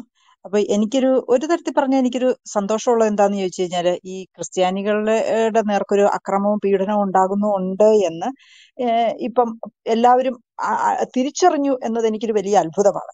ഞാൻ കുറച്ച് നാൾ മുമ്പ് യൂട്യൂബിൽ ഒരു വീഡിയോ കണ്ടു. ഒരു ഒരു പാസ്റ്ററിന്റെ ഒരു അനുഭവം പറയുന്നതാണ്. അപ്പൊ അദ്ദേഹം അദ്ദേഹത്തിന് ആ ഞാൻ ഈ വീഡിയോ കേൾക്കുന്ന സമയത്ത് തൊണ്ണൂറ്റിരണ്ട് വയസ്സുണ്ട്. അപ്പൊ അദ്ദേഹത്തിന്റെ ചെറുപ്പകാലത്ത് എന്ന് പറയുമ്പോൾ പത്ത് നാല്പത് വർഷം മുമ്പായിരിക്കും. നാല്പതോ അൻപതോ വർഷം മുമ്പ് അദ്ദേഹം തമിഴ്നാട്ടിലെ ഒരു ഗ്രാമത്തിൽ ഈ ദേവചനം പ്രസംഗിക്കാനായിട്ട് പോയപ്പോൾ അദ്ദേഹത്തിന് സംഭവിച്ച ഒരു സംഭവം വിവരിക്കുന്നുണ്ട്. അദ്ദേഹം പറഞ്ഞ് അദ്ദേഹത്തെ ആൾക്കാർ കെട്ടിയിട്ട് അടിച്ച് ഹ്യൂമൻ വിസർജം അദ്ദേഹത്തിന്റെ വായിൽ കുത്തിക്കേറ്റി ദേഹം മുഴുവൻ പുരട്ടി അദ്ദേഹത്തെ അടിച്ച് ഓടിച്ച ഒരു ചരിത്രം അദ്ദേഹം പറയുന്നുണ്ട്. അതിന്റെ കൂ- അദ്ദേഹത്തിന് കൂടെയുള്ളവരെല്ലാവരും ഓടിപ്പോയി. ഇദ്ദേഹത്തെ മാത്രമേ കിട്ടിയുള്ളായിരുന്നു. അതിനുശേഷം ഇയാൾ ഗ്രാമത്തിന് പുറത്ത് കൊണ്ടുപോയി വഴി കൊണ്ടുപോയി കളഞ്ഞു. കളഞ്ഞു കഴിഞ്ഞപ്പോഴത്തേക്ക് മറ്റേ കൂടെയുള്ളവർ അന്വേഷിച്ചു വന്നു. അദ്ദേഹം അതെല്ലാം കഴുകി കളഞ്ഞു. അങ്ങനെയെല്ലാം പോയി. പിന്നെ അങ്ങോട്ടേക്കിന് മേലെ കണ്ടുപോരെന്നൊക്കെ പറഞ്ഞ് ഓടിച്ചു. അതിനുശേഷം മൂന്ന് മാസങ്ങൾക്ക് ശേഷം അദ്ദേഹം വീണ്ടും ആ വഴിക്ക് ആ വഴിയുടെ അതിന്റെ അപ്പുറത്തെ ഗ്രാമത്തിലേക്ക് പോകാനായിട്ട് പോയപ്പോൾ അദ്ദേഹം പറഞ്ഞു ഈ വണ്ടി ഒന്ന് നിർത്തി. ആ എനിക്ക് ആ സ്ഥലം ഒന്ന് കാണാം. എന്നെ അടിച്ച് ഇത് ചെയ്ത സ്ഥലം ഒന്ന് കാണട്ടെ എന്ന് പറഞ്ഞ് അദ്ദേഹം വണ്ടി നിർത്തി കഴിഞ്ഞപ്പോഴത്തേക്ക് പിന്നെ ഇങ്ങനെ നോക്കിയപ്പോൾ ആ ഗ്രാമം ഇങ്ങനെ കാണുന്നില്ല. അവിടെ ഇങ്ങനെ കുറച്ച് ബിൽഡിംഗ് എല്ലാം കത്തി അങ്ങനെയെല്ലാം ഇങ്ങനെ ബിൽഡിംഗ് എല്ലാം ചെറിയ ചെറിയ കുടിലുകളും അങ്ങനെയൊക്കെയാണല്ലോ അന്നത്തെ കാലത്ത്. അപ്പൊ അതെല്ലാം കത്തിക്കരിഞ്ഞെല്ലാം കിടക്കുന്നു. കുറച്ചുപേർ അവിടെ നിന്ന് ഈ ചാമ്പലിനകത്ത് നിന്ന് ഓരോന്നൊക്കെ വാരുന്നു. അപ്പൊ ഇദ്ദേഹം ചോദിച്ചത് എന്താ ഇവിടെ സംഭവിച്ചത്? വല്ല തീപിടുത്തം ഉണ്ടായോ എന്നൊക്കെ ഓർത്ത് ചോദിച്ചപ്പോഴത്തേക്ക് അപ്പുറത്തെ ഗ്രാമത്തിൽ നിന്ന് ഒരു കൂട്ടർ വന്ന് എന്തോ വഴക്കുണ്ടായി തർക്കമുണ്ടായി. അവർ തീ വെച്ചു ആ ഗ്രാമം മുഴുവൻ നശിച്ചുപോയി എന്ന് അദ്ദേഹം ഇങ്ങനെ പറയുന്നുണ്ട്. അദ്ദേഹം പറഞ്ഞു എനിക്കിപ്പോ തൊണ്ണൂറ്റിരണ്ട് വയസ്സുണ്ട്. ഞാൻ ഇപ്പോഴും ദൈവവചനം പറയുന്നു. അന്ന് മുതൽ ഇന്നോളം പറഞ്ഞുകൊണ്ടിരിക്കുകയാണ് അപ്പൊ ഇത്തരത്തിലുള്ള കാര്യങ്ങളൊക്കെ ഇന്ത്യയിൽ എല്ലാ കാലത്തും നടന്നിട്ടുണ്ടായിരുന്നു. പക്ഷെ നമ്മളൊന്നും അത് ശ്രദ്ധിച്ചില്ല. കാരണം എന്താന്ന് വെച്ച് കഴിഞ്ഞാൽ ഈ എല്ലാ സിനിമകളിലും ഒക്കെ ഒരു കോമഡി കഥാപാത്രമായിട്ട് ഒരു ഒരു പാസ്റ്റർ കാണും അല്ലെങ്കിൽ ദൈവവചനം പറയുന്നത് കാണും അത്രയൊക്കെ കാണും. പക്ഷെ ഇപ്പം എവിടെ എന്നു മുതലാണ് നമ്മൾ ഇത്രത്തോളം ഇത്രത്തോളം ശ്രദ്ധിച്ചു തുടങ്ങിയതും ക്രിസ്ത്യൻസിനെ കുറിച്ച് ഇത്രയധികം ആശങ്കാകുലരായി തുടങ്ങിയതും എന്നുള്ളത് അവരവരുടെ ചിന്തയ്ക്കായിട്ട് ഞാൻ വിടുവാണ്. അപ്പം ഇപ്പം എന്നെയാണെങ്കിൽ ഇപ്പം എല്ലാ ന്യൂസ് ലിങ്കിന്റെ താഴെയും നിങ്ങൾ ഇത് കാണുന്നില്ലേ? നിങ്ങൾ ഇത് കാണുന്നില്ലേ? എന്ന് ചോദിച്ചുകൊണ്ട് എന്നെ എന്നെ വിളിക്കലാണ്. അപ്പം ഈ ഈ സമൂഹത്തിൽ ഒരു പ്രശ്നം ഉണ്ട് എന്ന്. ഈ പ്രശ്നം ഇപ്പോഴാണ് അവർ കാണാൻ തുടങ്ങിയത്. അത് എന്തുകൊണ്ടാണെന്നുള്ളത് ഞാൻ അവരോട് പലപ്പോഴും ചോദിക്കാറുണ്ട്. നിങ്ങൾ ഇപ്പോഴാണോ ഇത് അറിയുന്നത്? എന്റെ എന്റെ വല്യപ്പന്റെ കാലം തൊട്ട് മതപ്രചരണങ്ങൾ നടക്കുന്നുണ്ട് അടിമയടിക്കുന്നുണ്ട് ക്രിസ്ത്യൻസ്. ഒരു വശത്തൂടെ അവർ ഒരുപാട് സാമൂഹിക സേവനങ്ങളും പ്രവർത്തനങ്ങളും ഇന്ത്യയിൽ നടത്തുന്നുണ്ട്. അത് അംഗീകരിക്കപ്പെടുന്നുണ്ട് ആദരിക്കപ്പെടുന്നുണ്ട്. ഇതെല്ലാം ഇവിടെ നടക്കുന്നുണ്ടായിരുന്നു. പക്ഷേ എപ്പം മുതലാണ് നമ്മുടെ മുസ്ലിം സഹോദരങ്ങൾക്ക് ഇത്രയധികം ആശങ്കയും ഇത്രയധികം വേദനയും ക്രൈസ്തവരെ കുറിച്ച് ഉണ്ടാകാൻ തുടങ്ങിയത് എന്ന് അവരാണ് ആലോചിച്ചു നോക്കേണ്ടത് അതവിടെ നിൽക്കട്ടെ. പിന്നെ രാഷ്ട്രീയത്തിലേക്ക് ഇനി വരുവാണെങ്കിൽ ഇപ്പൊ എസ് ഡി പി യുടെ പിന്തുണ തേടി അല്ലെ മതവർഗീയവാദത്തിന്റെ പിന്തുണ തേടി എന്നുള്ളത് തീർച്ചയായിട്ടും അവരുടെ അജ്ഞത കൊണ്ടാണ് എന്നുള്ള കാര്യത്തിൽ യാതൊരു സംശയവുമില്ല. അത് മറ്റൊരു തരത്തിൽ പറഞ്ഞാൽ ഇങ്ങനെ ഒരു സംഭവങ്ങൾ ഉണ്ട് എന്ന് ക്രിസ്ത്യൻസ് കേരളത്തിന് അപ്പുറത്തോട്ട് ഇപ്പൊ പറഞ്ഞിട്ടില്ലായിരുന്നു അല്ലെങ്കിൽ ഇങ്ങനെ ഒരു ഇല്ല. ഓരോരുത്തരും സ്വയം തിരിച്ചറിഞ്ഞ് ഓരോരോ കാരണങ്ങൾ ഉണ്ടാക്കി അല്ലെങ്കിൽ ഓരോരോ കാരണത്താൽ ഓരോരുത്തരും സ്വയം തിരിച്ചറിഞ്ഞാണ് ഇതിലേക്ക് വരുന്നത് എന്നുള്ളത് പറയുന്നു ഇനി രാഷ്ട്രീയപരമായിട്ട് പറയുകയാണെങ്കിൽ ഒരു പ്രശ്നമുണ്ട് എന്ന് അഡ്രസ്സ് ചെയ്യാനെങ്കിലും ഒരു രാഷ്ട്രീയ പാർട്ടിക്ക് കറേജ് ഉണ്ടാകണം. അല്ലെങ്കിൽ ആ അതിനെ അഡ്രസ്സ് ചെയ്യുന്നവരെ വർഗീയവാദി എന്ന് വിളിക്കുക. ഇപ്പൊ എന്നെയൊക്കെ ആണെങ്കിൽ വളരെ പെട്ടെന്നാണ് ക്രിസംഖി എന്നൊരു ലേബൽ തരിക വർഗീയവാദി എന്ന് പറയുക. എന്താണ് ഈ വർഗീയവാദം? ലെറ്ററില്ല എന്താണ് ഈ? ഒരു മിനിറ്റ് അതൊരു വേറൊരു ലെറ്ററാണ് ഇത്. അപ്പം ഈ ഈ പിന്നെ വർഗീയവാദി എന്നൊരു ഒരു ലേബൽ തരിക പിന്നെ ഇങ്ങനെ ഇങ്ങനെയുള്ള വിഷയങ്ങളിലേക്കൊക്കെ എത്ര പെട്ടെന്നാണ് ഇവ ഇവർ ഇത് ലേബൽ ചെയ്ത് ആ ഒരു കാര്യമേ സംസാരിക്കണ്ട. അല്ലെങ്കിൽ അത് അത് നമുക്ക് ഒരു നമ്മുടെ ഒരു അജണ്ടയിൽ ഇല്ല എന്നുള്ളത് രാജ്യം ഭരിക്കുന്ന അല്ലെങ്കിൽ ഭരിക്കാൻ ആഗ്രഹിക്കുന്ന ഭരിച്ചിരുന്ന ഒരു പാർട്ടിക്ക് അനുയോജ്യമായിട്ടുള്ള ഒരു നിലപാടല്ല. ഒരു സമൂഹത്തിൽ ഒരു വിഷയമുണ്ട് എങ്കിൽ അത് ആദ്യം അഡ്രസ്സ് ചെയ്യണം. അത് അഡ്രസ്സ് ചെയ്താൽ മാത്രമേ അതിനൊരു പരിഹാരം ഉണ്ടാകൂ ഉണ്ടാകുകയുള്ളൂ. അപ്പൊ ഇവിടെ അഡ്രസ്സ് ചെയ്യാതെ പോയ ജോസഫ് മാഷിന്റെ കൈ വെട്ടിയപ്പോൾ മുതൽ അഡ്രസ്സ് ചെയ്യാതെ പോയ ഒരുപാട് വിഷയങ്ങളുടെ പ്രതിഫലനമാണ് ഇപ്പൊ കാണുന്നത്. അതിൽ ഈ ക്രൈസ്തവരുടെ പീഡനത്തിൽ ഒരു സംരക്ഷണം അല്ലെങ്കിൽ ഒരു കവചം അത് ക്രൈസ്തവന് ആവശ്യമുണ്ടോ എന്ന് എനിക്ക് തോന്നുന്നില്ല. അപ്പൊ കുറച്ച് അറസ്റ്റുകാരൊക്കെ വന്നിട്ട് നമ്മളോട് പറയും എന്നോട് എന്റെ ന്യൂസ് ലിങ്കിന് ഞാൻ കൊടുക്കുന്ന മറുപടിക്ക് താഴെ എഴുതും. നിങ്ങൾ കുരിശുകൃ കുരിശുകൃഷി നിർത്തിയാൽ മതി. പിന്നെ ഞങ്ങൾ ആക്രമിക്കുകയല്ലാന്ന്. നമ്മൾ പറയും. ഞാൻ വളരെ സന്തോഷത്തോടുകൂടി സന്തോഷത്തോടു കൂടി എന്റെ അവരോട് തിരിച്ചു പറയും. അത് നിർത്താൻ നമുക്ക് പറ്റില്ല. അത് നിർത്താൻ നമുക്ക് പറ്റില്ല. അതിന്റെ റിസൾട്ട് എന്താണോ വെച്ചാൽ നമ്മൾ മേടിക്കാനും തയ്യാറാണ്. അതേ നമുക്ക് പറയാനായിട്ട് പറ്റുള്ളൂ ആ വിഷയത്തിൽ. അപ്പം ഇതൊക്കെ ഉണ്ടാകും. എങ്കിലും തീർച്ചയായിട്ടും ഈ ആശങ്കകൾ നമുക്ക് പരിഹരിക്കപ്പെടാൻ പറ്റുന്നതാണ്. ഇവിടെ എല്ലാവരും പറയുന്നത് ചർച്ച ചെയ്യപ്പെടേണ്ടതാണ്. അതിന് പരിഹാരങ്ങൾ ഉണ്ടാകേണ്ടതാണ്. അഡ്രസ്സ് ചെയ്യ ചെയ്യപ്പെടേണ്ടതാണ്. തീർച്ചയായിട്ടും അഡ്രസ്സ് ചെയ്യണം. എന്തുകൊണ്ട് ഈ കാരണം ഉണ്ടാകുന്നു? എന്തുകൊണ്ട് കർണാടകത്തിൽ പള്ളി തകർക്കപ്പെടുന്നു എന്നുള്ളത് ഒന്ന് റിയൽ ആയിട്ട് ഇൻവെസ്റ്റിഗേറ്റ് ചെയ്യണം എന്നുള്ളതാണ് എന്റെ അഭിപ്രായം. ഇതിന്റെയൊക്കെ മൂല കാരണങ്ങൾ എവിടുന്ന് വരുന്നു എന്നുള്ളത് ഒന്ന് അന്വേഷിക്കേണ്ടതാണെന്നാണ് എന്റെ അഭിപ്രായം. അതാണ് നമ്മൾ ചെയ്യേണ്ടത്. സംരക്ഷണം ഒരുക്കുന്നതിന് മുൻപ് എന്തുകൊണ്ട് ഇത് സംഭവിച്ചു എങ്ങനെ ഇത് സംഭവിച്ചു എന്തുകൊണ്ടാണ് ഇപ്പോൾ ഇത് സംഭവിക്കുന്നത് എന്ന് അന്വേഷിക്കാൻ നമുക്ക് കഴിയട്ടെ. അതായിരിക്കട്ടെ ഒരു രാഷ്ട്രീയ പാർട്ടിയുടെ ഒരു ഒരു ഉദ്ദേശ ലക്ഷ്യം എന്ന് പറയുന്നത്. അങ്ങനെ വരുമ്പോൾ മാത്രമേ സമൂഹത്തിലെ റൂട്ടഡ് ആയിട്ടുള്ള ആ കോസസ് നമുക്ക് മാറ്റാൻ പറ്റുകയുള്ളൂ. നമുക്ക് സമാധാനപരമായിട്ടും സന്തോഷപരമായിട്ടും മുന്നോട്ട് പോകാനായിട്ട് പറ്റുകയുള്ളൂ. എന്ന് ഞാൻ പറയുന്നു. Thank you. അതിനുമ്പ് ഒരു കാര്യം കൂടെ ഞാൻ കൂട്ടിച്ചേർത്തോട്ടെ ഈ ഇദ്ദേഹം ഈ മലം തീറ്റിച്ചു എന്ന് പറയുന്ന വ്യക്തി എന്റെ പള്ളിയുടെ ഞങ്ങളുടെ പള്ളിക്കാരാണ്. മുട്ട ഗീവർച്ച എന്നാണ് പുള്ളിക്കാരന്റെ പേര്. ഇപ്പോഴും അദ്ദേഹം ജീവിച്ചിരിപ്പുണ്ട്. ആ ഓക്കെ ഓക്കെ. വളരെ നന്ദി. ഞാൻ പേരൊക്കെ മറന്നുപോയി. കുറച്ച് നാൾ മുമ്പ് ഇങ്ങനെ കണ്ട ഒരു വീഡിയോ ആയിരുന്നപ്പോഴത്തേക്ക് എന്തൊരു എന്തൊരു ചൈതന്യമാണ് അദ്ദേഹത്തിന്റെ ആ പ്രസംഗം പോലും കേൾക്കുമ്പോഴത്തേക്ക്. അദ്ദേഹം എത്ര കാര്യമായിട്ടാണ് പറയുന്നത്? നമ്മൾ ആരെയും ഉപദ്രവിക്കാൻ പോകണ്ട നമ്മൾ ആരോടും കണക്ക് പറയാൻ പോകണ്ട മക്കളെ നമ്മൾക്ക് നമ്മളെ അത് ഏൽപ്പിച്ചിട്ടില്ല എന്നൊക്കെ പറഞ്ഞുകൊണ്ട് അദ്ദേഹം പറയുന്നത് കേട്ടപ്പോൾ എനിക്ക് ഭയങ്കര ഒരു എന്താ പറയുക ഒരു ഒരു ഭയങ്കര ഒരു സ്പിരി ഒരു സ്പിരിറ്റ് തോന്നിപ്പോയി. അദ്ദേഹം പറഞ്ഞു നമ്മൾ പ്രതികാരം നമ്മുടേതല്ല. നമ്മൾ അത് ചെയ്യേണ്ട കാര്യമില്ല. നമ്മളെ അത് ഏൽപ്പിച്ചിട്ടില്ല എന്ന് പറഞ്ഞുള്ള അദ്ദേഹത്തിന്റെ ആ പ്രസംഗം വളരെ ബ്യൂട്ടിഫുൾ ആയിരുന്നു പേരുന്ന അദ്ദേഹത്തിന്റെ പേരുന്ന എനിക്കൊന്ന് മുട്ടം നല്ല പാട്ട് ക്രിസ്ത്യ പാട്ട് എഴുതിയേക്കുന്ന പുള്ളിക്കാരനാ. ഏറ്റവും നല്ല ക്രിസ്ത്യ പാട്ട് പാട്ട് കുറെ പാട്ട് എഴുതിയിട്ടുണ്ട്. അതുപോലെ തന്നെ അദ്ദേഹത്തിന്റെ ജ്യേഷ്ഠനായിരുന്നു ഒരു ഒരു ഇൻസ്പെക്ടർ ഉണ്ടായിരുന്നു. അദ്ദേഹത്തെ എട്ടായിട്ട് ഒരു വെട്ടിക്കൊന്നതാണ്. അദ്ദേഹത്തിന്റെ സ്പീച്ച് വല്ലതും യൂട്യൂബിലുണ്ടോ ആ യൂട്യൂബിൽ യൂട്യൂബിലുണ്ട് മുട്ടം മുട്ടം മുട്ടം? പേരൊന്ന് പറയാമോ? മുട്ടം ഗിവർ ചായ ഗിവർ ടി മട്ടനല്ല മുട്ടം. മുട്ടൻ. മുട്ടൻ ആ Muttam. Muttam. M U T T O M okay okay ശരി ഓക്കെ. ഓക്കെ. അത് മർത്തോമ പള്ളിയിലായിരുന്നു. അത് കഴിഞ്ഞ് അദ്ദേഹം ബന്ദിക്കോസ് വിശ്വാസത്തിലേക്ക് വന്ന ഒരാളാണ്. അദ്ദേഹത്തിന് വലിയൊരു വെളിച്ചപ്പാടുണ്ടായി. അദ്ദേഹം ചേണ്ട തലയെ വെച്ചുകൊണ്ട് ഓടി നടന്ന് റോഡിൽ കൂടെ ഈ അനുഗ്രഹം കിട്ടിയപ്പോൾ തുള്ളിച്ചാടി നടന്നു. പക്ഷെ അദ്ദേഹം ഈ മർത്തോമാക്കാരുടെ കൺവെൻഷനിലൊക്കെ പ്രസംഗിക്കാറുണ്ടല്ലോ. ആ ഒരു കൺവെൻഷൻ വിശ്വാസത്തിലേക്ക് മാറിയായിരുന്നു പിന്നെ. ആ ഓക്കെ. എന്നാലും മർത്തോമാ സഭയിലൊക്കെ വന്ന് പ്രാർത്ഥിക്കുകയും പ്രസംഗിക്കുകയും ഒക്കെ ചെയ്യും. ആ ഓക്കെ. ഞാനത് ഒരു കൺവെൻഷനിലാണ് എന്റെ പ്രസംഗത്തിലാണ് ഇത് കണ്ടതെന്നാണ് എനിക്ക് തോന്നുന്നത്. ആ വലിയ ഹൈറ്റും ഭയങ്കര തേജസ്സാ പുള്ളിയെ കാണാൻ. നല്ല ആരോഗ്യവും നല്ല ഹൈറ്റും നല്ല പവറാ പുള്ളിയെ കാണാൻ. ഒരു അജാന മനോജേട്ടോ ഇല്ലേ? മനോജേട്ടോ. ആ ഉണ്ട് ഉണ്ട്. ഞാനുണ്ട്. പറഞ്ഞു. ഒന്ന് നോക്കിക്കോളണേ ആ ഓക്കെ. ഞാനൊന്ന് പറഞ്ഞോട്ടെ? ആ പറയൂ. ആർക്കാണ് അവസരം കിട്ടാത്ത അവർ പറയൂ. ആ ഓക്കെ. ഈ ഞാൻ ഇതിനകത്ത് കയറി വന്ന നിസു എന്ന് പറഞ്ഞൊരു പുള്ളിക്കാരൻ ഈ കയറി വന്നുകൊണ്ട് പുറകെ വന്ന പക്ഷെ ഈ ടൈറ്റിൽ വെച്ച് പറ വിഷയം വിട്ടേക്കാം.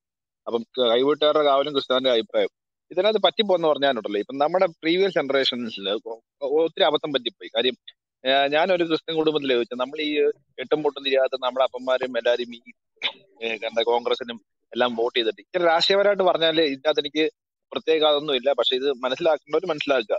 കാര്യം ക്രിസ്ത്യാനിയുടെ ആയുധം എന്ന് പറയുന്ന ആശയവും രണ്ടാമെന്ന് പറഞ്ഞാൽ വോട്ടുമാണ്. നമുക്ക് പറ്റിപ്പെന്ന് പറഞ്ഞാൽ ഈ നമ്മൾ അത്രയും നാളും വലിയ പ്രാർത്ഥനയും വലിയ കൈകൊട്ട് പ്രാർത്ഥന എന്നെ ഉപവാസ പ്രാർത്ഥന എന്നേലും ആയിക്കോട്ടെ. എന്നെന്ന് പറഞ്ഞിട്ട് നമ്മൾ പൊട്ടന്മാരെ പോലെ പോയി ചെന്നിട്ട് ഈ വല്ലവന്മാർക്കും കൊണ്ട് വോട്ട് ചെയ്യും. അതിന്റെ ഏറ്റവും വലിയ ഉദാഹരണമാണ് ഇപ്പൊ എയ്റ്റി ഈസ് ട്വന്റി. അല്ലേ? നമ്മൾ വലിയ കാര്യത്തിൽ പ്രാർത്ഥിക്കാൻ വലിയതായിട്ട് നമ്മുടെ ദൈവത്തോട് പറയാം എന്റെ ദൈവം എനിക്ക് അർഹിച്ച ജോലി കിട്ടിയില്ല. അപ്പൊ ദൈവം മേളിൽ ഇരുന്ന് ചോദിക്കും എടാ മോനെ നിനക്ക് ഞാനൊരു സാധനം ഓട്ടുന്ന സാധനം തന്നിട്ടുണ്ട്. അത് കുത്തി വരുന്ന കുത്തു കുത്താമല്ലെന്ന് ചോദിക്കും. കാര്യം എന്ന് പറഞ്ഞാൽ ഇത് നമുക്ക് അവകാശപ്പെട്ട സാധനം. വല്ലവനും അടിച്ചോണ്ട് പോവുക എന്റെ കുടുംബത്തിൽ കയറി വേറൊരുത്തൻ വന്ന് എല്ലാം അടിച്ചോണ്ട് പോയിട്ട് ഞാൻ മുകളിലോട്ട് നോക്കിയിട്ട് ദൈവത്തെ കുറ്റം പറയുന്ന ദൈവം ചിരിച്ചു കാണിക്കത്തുള്ളൂ. അതുകൊണ്ട് നമ്മൾ ചെയ്യേണ്ട കാര്യം എന്ന് പറഞ്ഞാൽ നമ്മുടെ ഈ എഡ്യൂക്കേഷൻ എഡ്യൂക്കേഷൻ എന്ന് പറഞ്ഞാൽ പിന്നെ സ്കൂളിലെ വിദ്യാഭ്യാസമല്ല? ഈ കാറ്റീസിംഗ് ക്ലാസ്സിലും സൺഡേ സ്കൂളിലും എല്ലാം സിലബസ് ഉൾപ്പെടെ മാറ്റണം മനസ്സിലായോ? സിലബസ് ഉൾപ്പെടെ അണ്ടർഗ്രൗണ്ടിൽ നിന്ന് മാറ്റണം. ഇതിന്റെ അകത്ത് ഏതെങ്കിലും ഒരു അച്ഛനോ പാസ്റ്ററോ ആരില്ല ഇതിന്റെ അകത്ത് വിലക്കതാടി നിൽക്കുകയാണെങ്കിൽ മാറ്റി നിർത്തിയിട്ട് രണ്ട് സംസാരം സംസാരിക്കണം. സംസാരിക്കണം. കാര്യം ഈ പറയുന്ന ഈ അച്ഛന്മാരും പാസ്റ്റർമാരും അല്ലെ എനിക്ക് തോന്നുന്നു ഒരു അറുപതിന്റെ അല്ലെ എഴുപതിന്റെ വയസ്സ് മുകളിലുള്ളവരായിരിക്കും. അവർക്ക് കൂടി പോയി കഴിഞ്ഞാൽ ബൈബിളിനകത്ത് പറഞ്ഞാൽ ഏറെ ആയാലും എഴുപത് അല്ലെ എൺപത്. അവരൊരു പത്ത് വർഷം കൂടെ കഴിഞ്ഞ് ഇവരെല്ലാം മരിച്ചു പോകും ഇല്ലേ? അനുഭവിക്കേണ്ട നമ്മളായിരിക്കും ഈ പുതിയ ജനറേഷൻ അതുകൊണ്ട് നമ്മൾ തന്നെ നമ്മുടെ കുടുംബത്തിൽ അടിച്ച് വാരി തെളിച്ച് ചെയ്യണം. പിന്നെ നമ്മുടെ അപ്പന്മാർക്ക് പറ്റുന്ന അബദ്ധങ്ങളൊന്നും പറയാ ചെയ്തായിരിക്കും കാര്യം ഏത് ക്രിസ്ത്യാനി നീ അടുത്ത വോട്ടിന് വോട്ട് ചെയ്താൽ ഇൻഡയറക്റ്റ് ആയിട്ട് നമ്മൾ ഒന്നെങ്കിൽ മുസ്ലിം ലീഗിന് അല്ലേ ആയിരിക്കും വോട്ട് ചെയ്യുന്നത്. ആ അതുകൊണ്ട് നമ്മൾ ഇപ്പൊ ബി ജെ പിയുടെ കാര്യം പറയുന്നുണ്ട്. ഇപ്പം ഈ കർണാടക കൊണ്ടുവരുന്ന ബില്ല് എന്ന് പറഞ്ഞാൽ നല്ല ബില്ല സത്യം പറഞ്ഞ. എന്ന് പറഞ്ഞാൽ മതം മാറണമെങ്കിൽ ശരിയാ. മജിസ്ട്രേറ്റിന് മുമ്പിൽ പോയി ഒപ്പിട്ട് കൊടുക്കണം. ദേ ഞാൻ മതം മാറി. എന്നാ തന്നെ തെറ്റ്? അതിനകത്ത് നല്ല കാര്യമാണ് ഞാൻ ഉദ്ദേശിച്ചത് കാര്യം എന്ന് പറഞ്ഞാൽ പിന്നെ ഓരോരുത്തരും വന്ന് പറയത്തില്ല. പാലും ഗോതമ്പും പാലും ബിസ്ക്കറ്റും കൊടുത്തിട്ടാ മതം മാറിയത്. മനസ്സിലായോ? അത് നല്ല അതിനെ നമ്മൾ എല്ലാവരും അനു എല്ലാ ക്രിസ്ത്യാനികളും അതിനെ അനുകൂലിക്കണം. അല്ലാതെ എസ് ടി പിയുടെ കൊടിയും പിടിച്ചിട്ട് കന്യാസ്ത്രീ എന്ന് പറഞ്ഞുകൊണ്ട് പോകുന്നല്ല അതിന്റെ അതിനകത്ത് അതിന്റെ നിയമത്തിനെ പറ്റി പഠിക്കണം. അത് നല്ല നിയമമാണ് സത്യം പറഞ്ഞ എല്ലാ ക്രിസ്ത്യാനിക്കും. അതുകൊണ്ട് പിന്നെ ഇടിക്കാനും ഒന്നും തൊഴിക്കാനൊന്നും വരത്തില്ലല്ലോ. എനിക്കിപ്പോ മതം മാറണം. ഓക്കെ. ഞാൻ പോയി മജിസ്ട്രേറ്റിന് മുമ്പിൽ പോയി പറയാതെ എനിക്ക് മതം അവിടെ വെച്ച് ഒപ്പിട്ട് കൊടുക്കും. ആരും എന്നെ ശല്യപ്പെടുത്താനും വരത്തില്ല. പിന്നെ ഒരുത്തനും പറയത്തില്ല എടാ നിനക്ക് പാൽ കിട്ടിയിട്ടല്ല? ഗോതമ്പ് കിട്ടിയിട്ടല്ല? നീ മതം മാറിയെന്ന് പറയത്തുമില്ല. നല്ല കാര്യമല്ലേ അതിലെല്ലാരും അംഗീകരിക്കണം. അല്ലാതെ ഈ ചുമ്മാ ഒരു വിദ്യാഭ്യാസം വിവരവും ഇല്ലാതെ ഈ ചുമ്മാ ഈ കൊടിയും പിടിച്ച് അത് അത് എസ് ടി പിക്കാരുടെ ജോസഫ് മാഷിന്റെ കൈ വെട്ടാൻ നേരത്തെ ഇതിന്റെ ഒറ്റൊരുത്തിന്റെ ഈ ക്രിസ്ത്യാനിയുടെ കയ്യിൽ ഈ ഇതൊന്നും കണ്ടില്ലല്ലോ? കണ്ടോ? ഒറ്റ ഒരുത്തിന്റെ കണ്ടില്ലല്ലോ? അത് പതിനൊന്ന് വർഷം കഴിഞ്ഞപ്പോഴാണ് ക്രിസ്ത്യാനിക്ക് മനസ്സിലായി അയ്യോ ഇതിന്റെ അകത്ത് ഈ പുസ്തകത്തിൽ പറഞ്ഞിരിക്കുന്ന സാധനം അത്. കണ്ടെടുത്ത് വെച്ചാണ് ഈ ഇവരൊക്കെ എന്നാ ചെയ്യണ്ടെന്നറിയോ ഇവരൊക്കെ പത്ത് ദിവസം പൂട്ടിയിട്ടുണ്ട്. ഈ പൊടി പിടിച്ച എല്ലാരെയും അതിപ്പോ ഏത് മതക്കാരായിക്കോട്ടെ? ക്രിസ്ത്യാനി കന്യാസ്ത്രീ ആയിക്കോട്ടെ വാഷന്മാരായിട്ട് പത്ത് ദിവസം അടുപ്പിച്ച് പൂട്ടിയിട്ടിട്ട് പത്ത് ദിവസം ഈ സെബാസ്റ്റിന്റെയും അൻലൈബിൻ ബ്രദറിന്റെ അൽക്കൊടുത്തോട്ടും പിന്നെ മലയാളത്തിലുള്ള ഖുറാനും ഹദീസും എല്ലാം പഠിപ്പിച്ചു. എന്നാൽ ഇവരൊക്കെ തലയിലോട്ട് കയറത്തുള്ളൂ. മത സൗഹ്ര സൗഹാർദ്ദം എന്ന് പറഞ്ഞാൽ അത്. ഈ പറ്റിയില്ലല്ലേ. കുറുക്കന്റെ ഏർ വായിക്കാത്തോണ്ട് കൊണ്ട് കോഴിയുടെ ഒക്കെ തലയിടുന്നല്ല മത സൗഹൃദം അത് പഠിച്ചു കൊടുത്തിട്ട് ഇത് തെറ്റാന്ന് പറയുന്ന മത സൗഹൃദം നമുക്ക് ഒരു കാര്യം മനസ്സിലാക്കണം. ഈ ഇവിടെ ഇങ്ങനെ ക്രിസ്ത്യാനോട് പറയുന്നത് ഇവരുടെ കാബയും ഈ ഇവർ ഈ വജയനക്കല്ലൊക്കെ കല്ലൊക്കെ നോക്കുന്നത് ക്രിസ്ത്യാനി ജൂതനുമാണ് അവർക്ക് ഇരുപത്തിമൂന്ന് വർഷം കൊണ്ട് ഖുറാൻ അങ്ങോട്ടും അങ്ങോട്ടും പുള്ളി നടന്നിട്ട് ആ കാലിന്റെ അടിയിൽ കിടക്കുന്ന പെട്രോൾ കണ്ടുപിടിച്ചത് ജൂതനും ക്രിസ്ത്യാനിയും അല്ലെ കാഫറുകളെ കണ്ടുപിടിച്ചത്. അവർക്ക് ഇവരുടെ കളി വരെ ഒന്ന് കളി കളിക്കുന്നത്. അതുകൊണ്ട് നമ്മൾ മണ്ടന്മാരായത് നമ്മുടെ മണ്ടത്തരം കൊണ്ട് നമ്മുടെ അടുത്ത തലമുറ കേരളത്തെ അനുഭവിക്കരുത്. അതുകൊണ്ട് യുക്തിപരമായിട്ട് യുക്തി എന്ന് പറഞ്ഞാൽ ഞാൻ ഈ നിരീശ്വരവാദികൾ പറയുന്നതല്ല യുക്തിപരം എന്ന് പറഞ്ഞാൽ നമ്മുടെ തലയ്ക്കാതിരിക്കുന്ന സാധനം കൊണ്ട് ചിന്തിച്ച് ഒറ്റ ആയതേ വോട്ട്.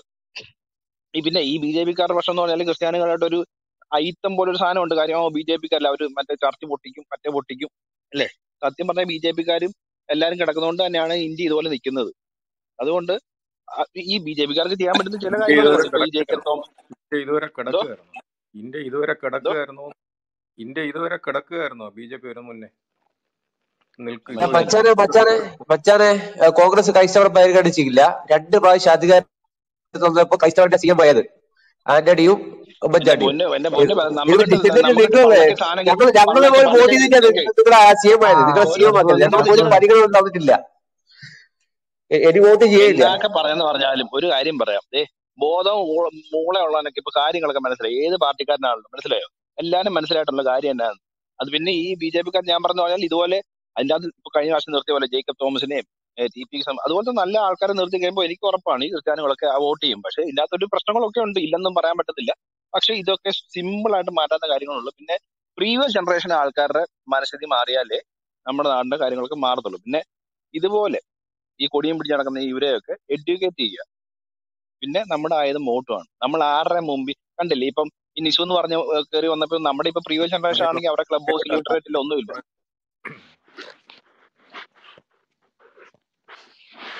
ആ അത്രേ ഉള്ളൂ എനിക്ക് പറയാനുള്ളൂ. അതുകൊണ്ട് നമ്മൾ യുക്തിപരമായിട്ട് ചിന്തിക്കുക ആരാണല്ലോ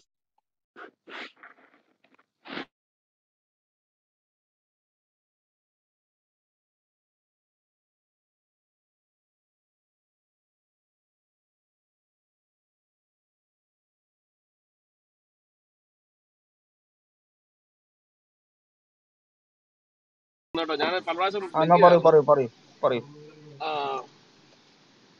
അല്ല ഈ വിഷയത്തിൽ നമ്മൾ യഥാർത്ഥത്തിൽ ഇന്റർനാഷണൽ തലത്തിൽ ശ്രദ്ധിച്ചു കഴിഞ്ഞാൽ ഈ ക്രിസ്ത്യൻസ് ഏറ്റവും കൂടുതൽ ആക്രമണം നേരിടുന്നത് ക്രിസ്ത്യൻ സൈഡിൽ നിന്നുള്ളവർക്ക് ഏറ്റവും കൂടുതൽ ആക്രമണം നേരിടുന്നത് ഇസ്ലാമിന്റെ കയ്യിൽ ഈ കഴിഞ്ഞ ആയിരത്തി തൊള്ളായിരത്തി ഒരു അമ്പതിന് പുറകിലോട്ട് അമ്പതല്ല ഒരു മുപ്പതിന് പുറകിലോട്ട് ഒരു സ്ഥലത്തും ക്രിസ്ത്യൻ സമൂഹം സംഘടിതമായ ഒരു ആക്രമണം നടത്തിയതായിട്ട് നമുക്ക് ചരിത്രത്തിൽ കാണാൻ ഞാൻ കണ്ടിട്ടില്ല. ഇനിയിപ്പോൾ ആരെങ്കിലും കണ്ടിട്ടുണ്ടോ എന്ന് എനിക്കറിയത്തില്ല സംഘടിതമായ ഒരു മതപരമായ ഒരു ഒരു ആക്രമണം നടത്തിയതായിട്ട് നമുക്ക് കാണാൻ പറ്റില്ല.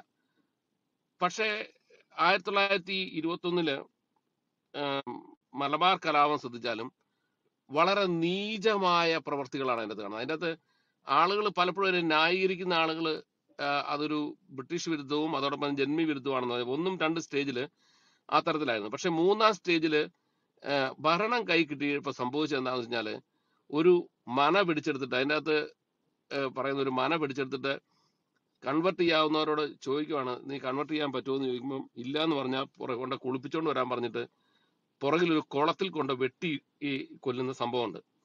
അതുപോലെ നമ്മൾ ഞാൻ അർമേനിയൻ കൂട്ടക്കൊല ശ്രദ്ധിച്ചാൽ അതിന്റെ അകത്ത് രണ്ട് ലക്ഷം പേരെ ഒരു ഒറ്റയടിക്ക് കൺവെർട്ട് ചെയ്തത്. അല്ലാത്തൊരു അല്ലാത്തൊരു ഭീകരമായി കൊന്നൊടുക്കുക ചെയ്ത് അത് പല രീതിയിൽ അതായത് നടത്തി ഡെസേർട്ടിലൂടെ നടത്തി ആയിരം കിലോമീറ്റർ നടത്തി പോയ വഴിക്ക് ചത്തു തീരുന്നു അതുപോലെ കൊന്ന് നദിയിലെറിയുന്നു. അതുപോലെ വീടുകളും സ്ത്രീകളെയും കൊള്ളയടിക്കുന്നു. ഈ തരത്തിലുള്ള ഭീകരമായ സംഭവങ്ങളാണ് ഈ കഴിഞ്ഞ നൂറ്റാണ്ടിൽ ഇസ്ലാമിന്റെ ഭാഗത്ത് നമുക്ക് കാണാൻ പറ്റുന്നത്. പക്ഷെ ആ ആ കാലഘട്ടത്തിൽ ഈ ക്രിസ്ത്യൻസിന്റെ സൈഡിൽ നിന്ന് അല്ലെങ്കിൽ ഹിന്ദുവിന്റെ സൈഡിൽ നിന്ന് അത്തരത്തിലുള്ള ഭീകരമായ മതപരിവർത്തനത്തിന് വേണ്ടിയുള്ള ഇത് കൊല കൊലപാതകങ്ങളോ അക്രമവും നടന്നിട്ടില്ലെന്നാണ് പറയുന്നത് പക്ഷെ അക്രമത്തിന്റെ ഈ അക്രമത്തിലൂടെ മതപരിവർത്തനം എന്ന് പറയുന്ന ഒരു കോൺസെപ്റ്റ് നടപ്പിലാക്കാൻ വേണ്ടി ശ്രമിച്ച് നമുക്ക് കാണാൻ പറ്റില്ല. അപ്പൊ ഇവിടെ അടിസ്ഥാനപരമായി നമ്മൾ മനസ്സിലാക്കേണ്ടത് ഈ ഹിന്ദുക്കളുടെ ആക്രമണത്തെ പേടിച്ച് നമ്മൾ ഇസ്ലാമിന്റെ സംരക്ഷണം ചെയ്യുക ഇസ്ലാമിസ്റ്റുകൾ ഇസ്ലാമുകളുടെ അല്ല ഇസ്ലാമിസ്റ്റുകളുടെ അല്ലെ ഹിന്ദു തീവ്രവാദികളുടെ ആക്രമണത്തെ ഭയപ്പെട്ട് പോയി ഈ ഈ പറയുന്ന ഇസ്ലാമിക് തീവ്രവാദികളുടെ സഹായം സ്വീകരിക്കുക എന്ന് പറഞ്ഞാൽ നമ്മൾ ഏതെങ്കിലും കുറുക്കനെ പേടിച്ച് പുലിമടയിൽ പോയി കയറുന്നതിന് തുല്യമാണ്. അപ്പം ആ അർത്ഥത്തിൽ അവരുടെ അവരാണ് അടിസ്ഥാനപരമായി ഇന്ന് ലോകത്തെ ഏറ്റവും വലിയ അപകടകാരികൾ കാരണം മതം എന്നുള്ള നിലയിൽ ഇപ്പോഴും അപകടകരമായി നിൽക്കുന്ന ഒരു മതം ഇസ്ലാം മതം തന്നെയാണ്. ചരിത്രത്തിലെ എല്ലാ മതങ്ങളും കൊന്നിട്ടുണ്ടെന്ന് ഞാൻ ഇതിനു മുമ്പ് പറഞ്ഞിട്ടുണ്ട്. ആ നിലപാടിൽ തന്നെ ഞാൻ ഉറച്ചു നിൽക്കുന്നു. പക്ഷേ ഈ ഇന്ന് ആധുനിക ലോകത്തിന്റെ മാനവികതയോട് മനുഷ്യത്വത്തോട് മതേതരത്വത്തോട് കൂട്ടി യോജിച്ചു പോകാൻ കഴിയാത്ത മതമാണ് ഇന്ന് ഇസ്ലാം മതം എന്ന് പറയുന്നത്. അത് ലോകത്ത് എവിടെയൊക്കെ ഉണ്ടോ അവിടെ എല്ലാം പ്രശ്നങ്ങളുണ്ട്. ഇനി ആയിരത്തി നാനൂറിൽ സോറി ആയിരത്തി നാനൂറ് വർഷം മുമ്പ് ഇസ്ലാം ഇന്ത്യയിൽ വന്നു. ആ ഇസ്ലാം ഇന്ത്യയിൽ വരുമ്പം ഇന്ത്യയിലെ ആളുകളെ ഇസ്ലാമിനെ വളരാനും സ്വീകരിക്കാനും സ്വീകരിക്കാനും കഴിഞ്ഞു. എ ഡി അമ്പത്തിരണ്ടിൽ വരുന്നു വന്നെന്ന് പറഞ്ഞു അതിന്റെ അതിന് ചരിത്രപരമായ തെളിവില്ല പക്ഷെ എന്നാലും ഏതോ കാലഘട്ടത്തിൽ ക്രിസ്ത്യാനിയും ഇന്ത്യയിലെത്തി. ആ ക്രിസ്ത്യൻസിനും ഇന്ത്യയിൽ വളരാനും ജീവിക്കാനും അവസരം കിട്ടി. എന്നാൽ ഇതേ സെയിം ടൈം നമ്മൾ അറേബ്യയിൽ എടുത്തുനിന്ന് പരിശോധിച്ച് നോക്കുക അറേബ്യയിൽ പരിശോധിച്ചാൽ അവിടെ ഏതെങ്കിലും തരത്തിൽ മറ്റൊരു മതത്തെ വളരാനോ അതുപോലെ തന്നെ അതിന് എന്തിന് ഇല്ലായ്മ ചെയ്യാൻ അതായത് അറേബ്യൻ പെനിൻസുലയിൽ നിന്ന് ഞാൻ യൂതനെയും ക്രിസ്ത്യൻസിനെയും ഇല്ലായ്മയെന്നാണ് മുഹമ്മദ് മരിക്കാൻ കിടന്നപ്പോൾ കൊടുത്ത മൂന്ന് കാര്യങ്ങൾ എഴുതി കൊടുത്തെന്ന് പറയുന്നത് രണ്ട് കാര്യങ്ങൾ ഹദീസുകളിലൂടെ പുറത്തു വന്നിട്ടുണ്ട് അതിൽ പറഞ്ഞേക്കുന്നത്. അപ്പം അവിടെ വെച്ചോണ്ടിരിക്കില്ലെന്നാ പറഞ്ഞേക്കുന്നത്. അപ്പൊ തരത്തിൽ ഇൻടോളറന്റ് ആയിട്ടുള്ള ഒരു മതം ത്തിന്റെ സൈഡിലേക്ക് നമ്മൾ ചെരിയുക എന്ന് പറയുന്നത് എത്രയോ അപകടകരമാണെന്ന് ചിന്തിച്ചു നോക്കുക. ഹിന്ദുക്കളെ സംബന്ധിച്ചോളം എന്ത് പറഞ്ഞാലും അതിന്റെ അകത്ത് ഹിന്ദു സമൂഹം ഇവിടെ എന്തെല്ലാം കുഴപ്പങ്ങൾ ഈ കാലഘട്ടത്തിൽ ഉണ്ടാക്കുന്നുണ്ടെന്ന് പറഞ്ഞാൽ പോലും അവർ ഈ കാലഘട്ടത്തിനുള്ളിൽ എല്ലാവരോടും സഹിഷ്ണുത കാണിച്ചിട്ടില്ല. കഴിയുന്നത്ര എല്ലാ വിഭാഗങ്ങളെയും വളരാൻ അനുവദിച്ചിട്ടില്ല. പലപ്പോഴും ഈ ഹിന്ദു ഡിഫൻസിനെ സംബന്ധിച്ച് നമ്മൾ ശ്രദ്ധിച്ചാൽ അവരുടെ നിലനിൽപ്പ് അപകടത്തിലാകുന്ന സമയത്താണ് അവർ ഡിഫൻസിലേക്ക് പലപ്പോഴും വന്നേക്കുന്നത് ഇപ്പം നമ്മൾ പഴശ്ശി സോറി ശിവ ശിവജിയെ എടുത്തു നോക്കിയാൽ ശിവജി നിവൃത്തികേടിന്റെ സാഹചര്യത്തിലാണ് ശിവജി എന്ന് പറയുന്ന ഒരാൾ ഉയർത്തി ഉയർത്തെഴുന്നേക്കുന്നത് അപ്പം അത് ആ ഒരു ഡിഫൻസിലേക്ക് അവർ പോകുന്നുണ്ട്. ആ ശരിയാണ്. പക്ഷെ എന്നാൽ പോലും ഒരു കൂട്ടമായ മതപരിവർത്തനം എന്ന് പറയുന്ന അവരുടെ ഒരു കലാപങ്ങളും നമുക്ക് കാണാൻ പറ്റില്ല. ഈ കൂട്ടമായ മതപരിവർത്തനം കാണാൻ കഴിയുന്ന ഇസ്ലാമിക് ആക്രമണങ്ങളിൽ മാത്രമാണ്. അപ്പൊ അത് ഇന്നും അവർ തുടരുന്നുണ്ട്. അത് ഇന്നും എല്ലാ സ്ഥലത്തും തുടരുന്നു ഇപ്പം ഏറ്റവും അവസാനം നമ്മുടെ കൺമുമ്പിൽ കണ്ട നമ്മളിപ്പോ ആരെയും വിശദീകരിക്കേണ്ട കാര്യമില്ല. ഐ എസ് ഐ എസ് എന്ന് പറയുന്ന സംഘം ഐ എസ് ഐ എസ് നിങ്ങൾ മനസ്സിലാക്കേണ്ട കാര്യം ഇസ്ലാമിസ്റ്റുകൾ പറയും ഐ എസ് ഐ എസ് അവരുടെ ഭാഗമല്ലെന്ന് പറയും. പക്ഷെ ഐ എസ് ഐ എസ് ചെയ്തത് എന്താണെന്നറിയോ? അവിടെ കീഴടക്കിയ ശേഷം ആദ്യം ചെയ്തത് നടു റോഡിൽ അവരുടെ ഗാർഡ്സുകൾ നിന്നിട്ട് വന്ന കാറുകളെല്ലാം തടഞ്ഞു നിർത്തി ഖുറാൻ വായിച്ചത് നിങ്ങൾ ഇതിന്റെ അടിസ്ഥാനത്തിൽ ജീവിക്കണം എന്നാണ് പറഞ്ഞത്. അല്ലാതെ അവർ ഐ എസ് ഐസിന്റെ ഒരു പുസ്തകം ഉണ്ടാക്കിയിട്ട് കൊടുക്കുമല്ല ഇത്. ഖുറാൻ എടുത്ത് എല്ലാ കാറുകളുടെ കാർ കൈകാണിച്ച് നിർത്തിയിട്ട് ആ കാറുകളിലേക്ക് അതിന്റെയൊക്കെ വീഡിയോ നിങ്ങൾക്ക് ഉണ്ട് ഇപ്പോഴും യൂട്യൂബിലുണ്ട് കാണാം. അപ്പം അവിടെ അതുപോലെ തന്നെ ബാഗ്ദാദി എന്ന് പറഞ്ഞത് അവിടെ ഉണ്ടായിരുന്ന എല്ലാ നോൺ മുസ്ലിമിനെ ഒഴിവാക്കിയിട്ട് മുസ്ലിംസ് ഇങ്ങോട്ട് മൈഗ്രേറ്റ് ചെയ്യണം എന്നാണ് പറഞ്ഞത്. ഏത്? ഈ ഈ കാലിഫൈറ്റിന്റെ ഉള്ളിലേക്ക് മൈഗ്രേറ്റ് ചെയ്യണം അതിനുശേഷം ഇത് എക്സ്പാൻഡ് ചെയ്യണം എന്നാണ് അദ്ദേഹം പറഞ്ഞത്. അപ്പൊ ഇത്തരത്തിലുള്ള ഏറ്റവും മതപരമായ ഏറ്റവും മതപരം. അപ്പൊ ആ അത്തരത്തിൽ ഏറ്റവും മതപരമായിട്ടുള്ള ക്രൂരമായിട്ടുള്ള ചിന്തകൾ ഇപ്പോഴും കൊണ്ടു നടക്കുന്ന വിഭാഗമാണ് ഈ ഈ ഇസ്ലാമിസ്റ്റുകൾ എന്ന് പറയുന്നത് അപ്പം ഇനിയിപ്പം തന്നെ എടുത്ത് നോക്ക് നമ്മൾ ഈ പോപ്പുലർ ഫ്രണ്ടിന്റെ ആളും ഇതിന് പുറകിലൊക്കെയുള്ള സംഘടനകളുടെ ആളും ഈ പോപ്പുലർ ഫ്രണ്ടും ഒക്കെ വന്നേക്കുന്നത് നമ്മുടെ ഇസ്ലാമിക് ബ്രദർഹുഡിൽ നിന്നാണ് ഇസ്ലാമിക് ബ്രദർഹുഡിന്റെ ഫിലോസഫി എടുത്ത് പരിശോധിച്ച് നോക്ക്. അവർക്ക് വേണ്ടത് ലോകത്ത് മുഴുവൻ ഇസ്ലാം രാഷ്ട്രം സ്ഥാപിക്കുക എന്നുള്ള ഒരു ഐഡിയോളജിയാണ് അവർ മുമ്പോട്ട് വയ്ക്കുന്നത്.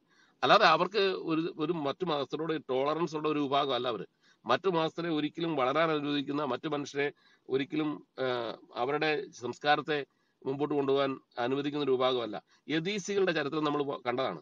യദീസികൾ എന്ത് കുറ്റമാണ് ചെയ്തത്? അവർ ആരെങ്കിലും ആക്രമിക്കാൻ പോയിട്ടുണ്ടോ? ആക്രമിച്ചിട്ടാണോ ഇത് അവർ ഇത്രമാത്രം നിഷ്ഠൂരമായ ജനോസൈഡിന് വിധേയമാകേണ്ടി വന്നത്? അപ്പം ഇതാരും ആക്രമിക്കാൻ പോയിട്ടില്ല അങ്ങോട്ട് ആക്രമിക്കാൻ പറ്റില്ല അവർ അവരുടെ വിശ്വാസങ്ങളുമായി ജീവിച്ച ഒരു ജനത അവർക്ക് അവരുടെ വിശ്വാസങ്ങളുമായി ഇവരുടെ വിശ്വാസങ്ങൾ കോയിൻസൈഡ് ചെയ്യുന്നില്ല എന്നുള്ളൊരു കാരണം കൂടെ അവരെ എക്സ്റ്റർമിനേറ്റ് ചെയ്യുകയാണ് ചെയ്തത്. അപ്പൊ ഇത്തരത്തിലുള്ള തരത്തിലുള്ള മനോഭാവം ഇപ്പോഴും കൊണ്ടു നടക്കുന്ന ആളുകളാണ് ഇസ്ലാമിസ്റ്റുകൾ. അവരുടെ പുസ്തകം അതാണ് പഠിപ്പിക്കുന്നത്. അപ്പൊ ആ ആ പുസ്തകം അവർ കൊണ്ടു നടക്കുന്നിടത്തോളം കാലം ഒരിക്കലും മറ്റൊരു ജനവിഭാഗങ്ങൾക്കും അവരെ വിശ്വസിക്കാൻ കഴിയില്ല എന്നുള്ളതാണ് സത്യം. അതിന്റെ അകത്ത് മുസ്ലിംസിനല്ല മുസ്ലിംസ് ഞാൻ പറഞ്ഞു ഞാൻ എന്റെ വ്യക്തി ജീവിതത്തിലൊക്കെ ഒരുപാട് മുസ്ലിംസിന് സഹായം കിട്ടിയിട്ടുള്ള ഒരാളാണ് ഞാൻ. പക്ഷേ ഈ പറയുന്ന ഇസ്ലാമിസം എന്ന് പറയുന്ന ഐഡിയോളജി മനസ്സിൽ പേറിക്കൊണ്ട് അത് ലോകത്ത് നടപ്പിലാക്കണം എന്ന് ചിന്തിച്ചുകൊണ്ട് നടക്കുന്ന ആളുകളെ നമുക്ക് ഒരിക്കലും വിശ്വസിക്കാൻ പറ്റത്തില്ല. അവർ ഏത് നിമിഷവും തിരിഞ്ഞു കടിക്കുന്നവരാണ് ഏത് ഏത് സാധ്യതകളെയും അവർ ഏത് സാധ്യതകളെ ഉപയോഗിക്കാൻ വേണ്ടി അവർ നടന്ന ശ്രമത്തിന്റെ ഭാഗമായിട്ടുള്ളത് അതുകൊണ്ട് ഹിന്ദു തീവ്രവാദികളെക്കാൾ എത്രയോ വിഷം കൂടിയവരാണ് ഈ മുസ്ലിം തീവ്രവാദികളെന്ന് നമ്മൾ മനസ്സിലാക്കണം. അത് മനസ്സിലാക്കാതെ പോയി കഴിഞ്ഞാൽ വലിയ അപകടത്തിലേക്കാണ്. ഒരു ചെറിയ സഹായം പോലും മരിക്കുന്ന സമയത്ത് പോലും സ്വീകരിക്കാൻ പറ്റുന്നവരല്ല ഈ പറയുന്ന ഇസ്ലാമിസ്റ്റുകൾ എന്ന് പറയുന്ന ഇസ്ലാമിക തീവ്രവാദികൾ എന്ന് പറയുന്നത്. കാരണം അവരെ സംബന്ധിച്ചിടത്തോളം ഈ ഇസ്ലാം അല്ലാത്ത ഒരാൾ ഈ ഭൂമി നിലനിൽക്കുന്നതിനെ പറ്റി പോലും ചിന്തിക്കാൻ കഴിയില്ല. അവരിപ്പോ സഹായത്തിന് വരുന്നത് ഇപ്പോൾ അവർക്ക് ആ ഒരു സാധ്യത നടപ്പിലാക്കാൻ കഴിയാത്തതുകൊണ്ട് മാത്രമാണ് എന്നുള്ള കാര്യം മതേതരവാദികളായിട്ടുള്ള മനുഷ്യർ മനസ്സിലാക്കുക എന്നുള്ളതാണ് വേണ്ടത്. ഇത്തരം വരുന്ന ഒരു തീവ്രവാദിക്കും വേണ്ടി തല വെച്ചു കൊടുക്കരുത്. അത് ലോക അപകടകരമാണെന്ന് എനിക്ക് പറയാനുള്ളത്. നന്ദി. Okay okay.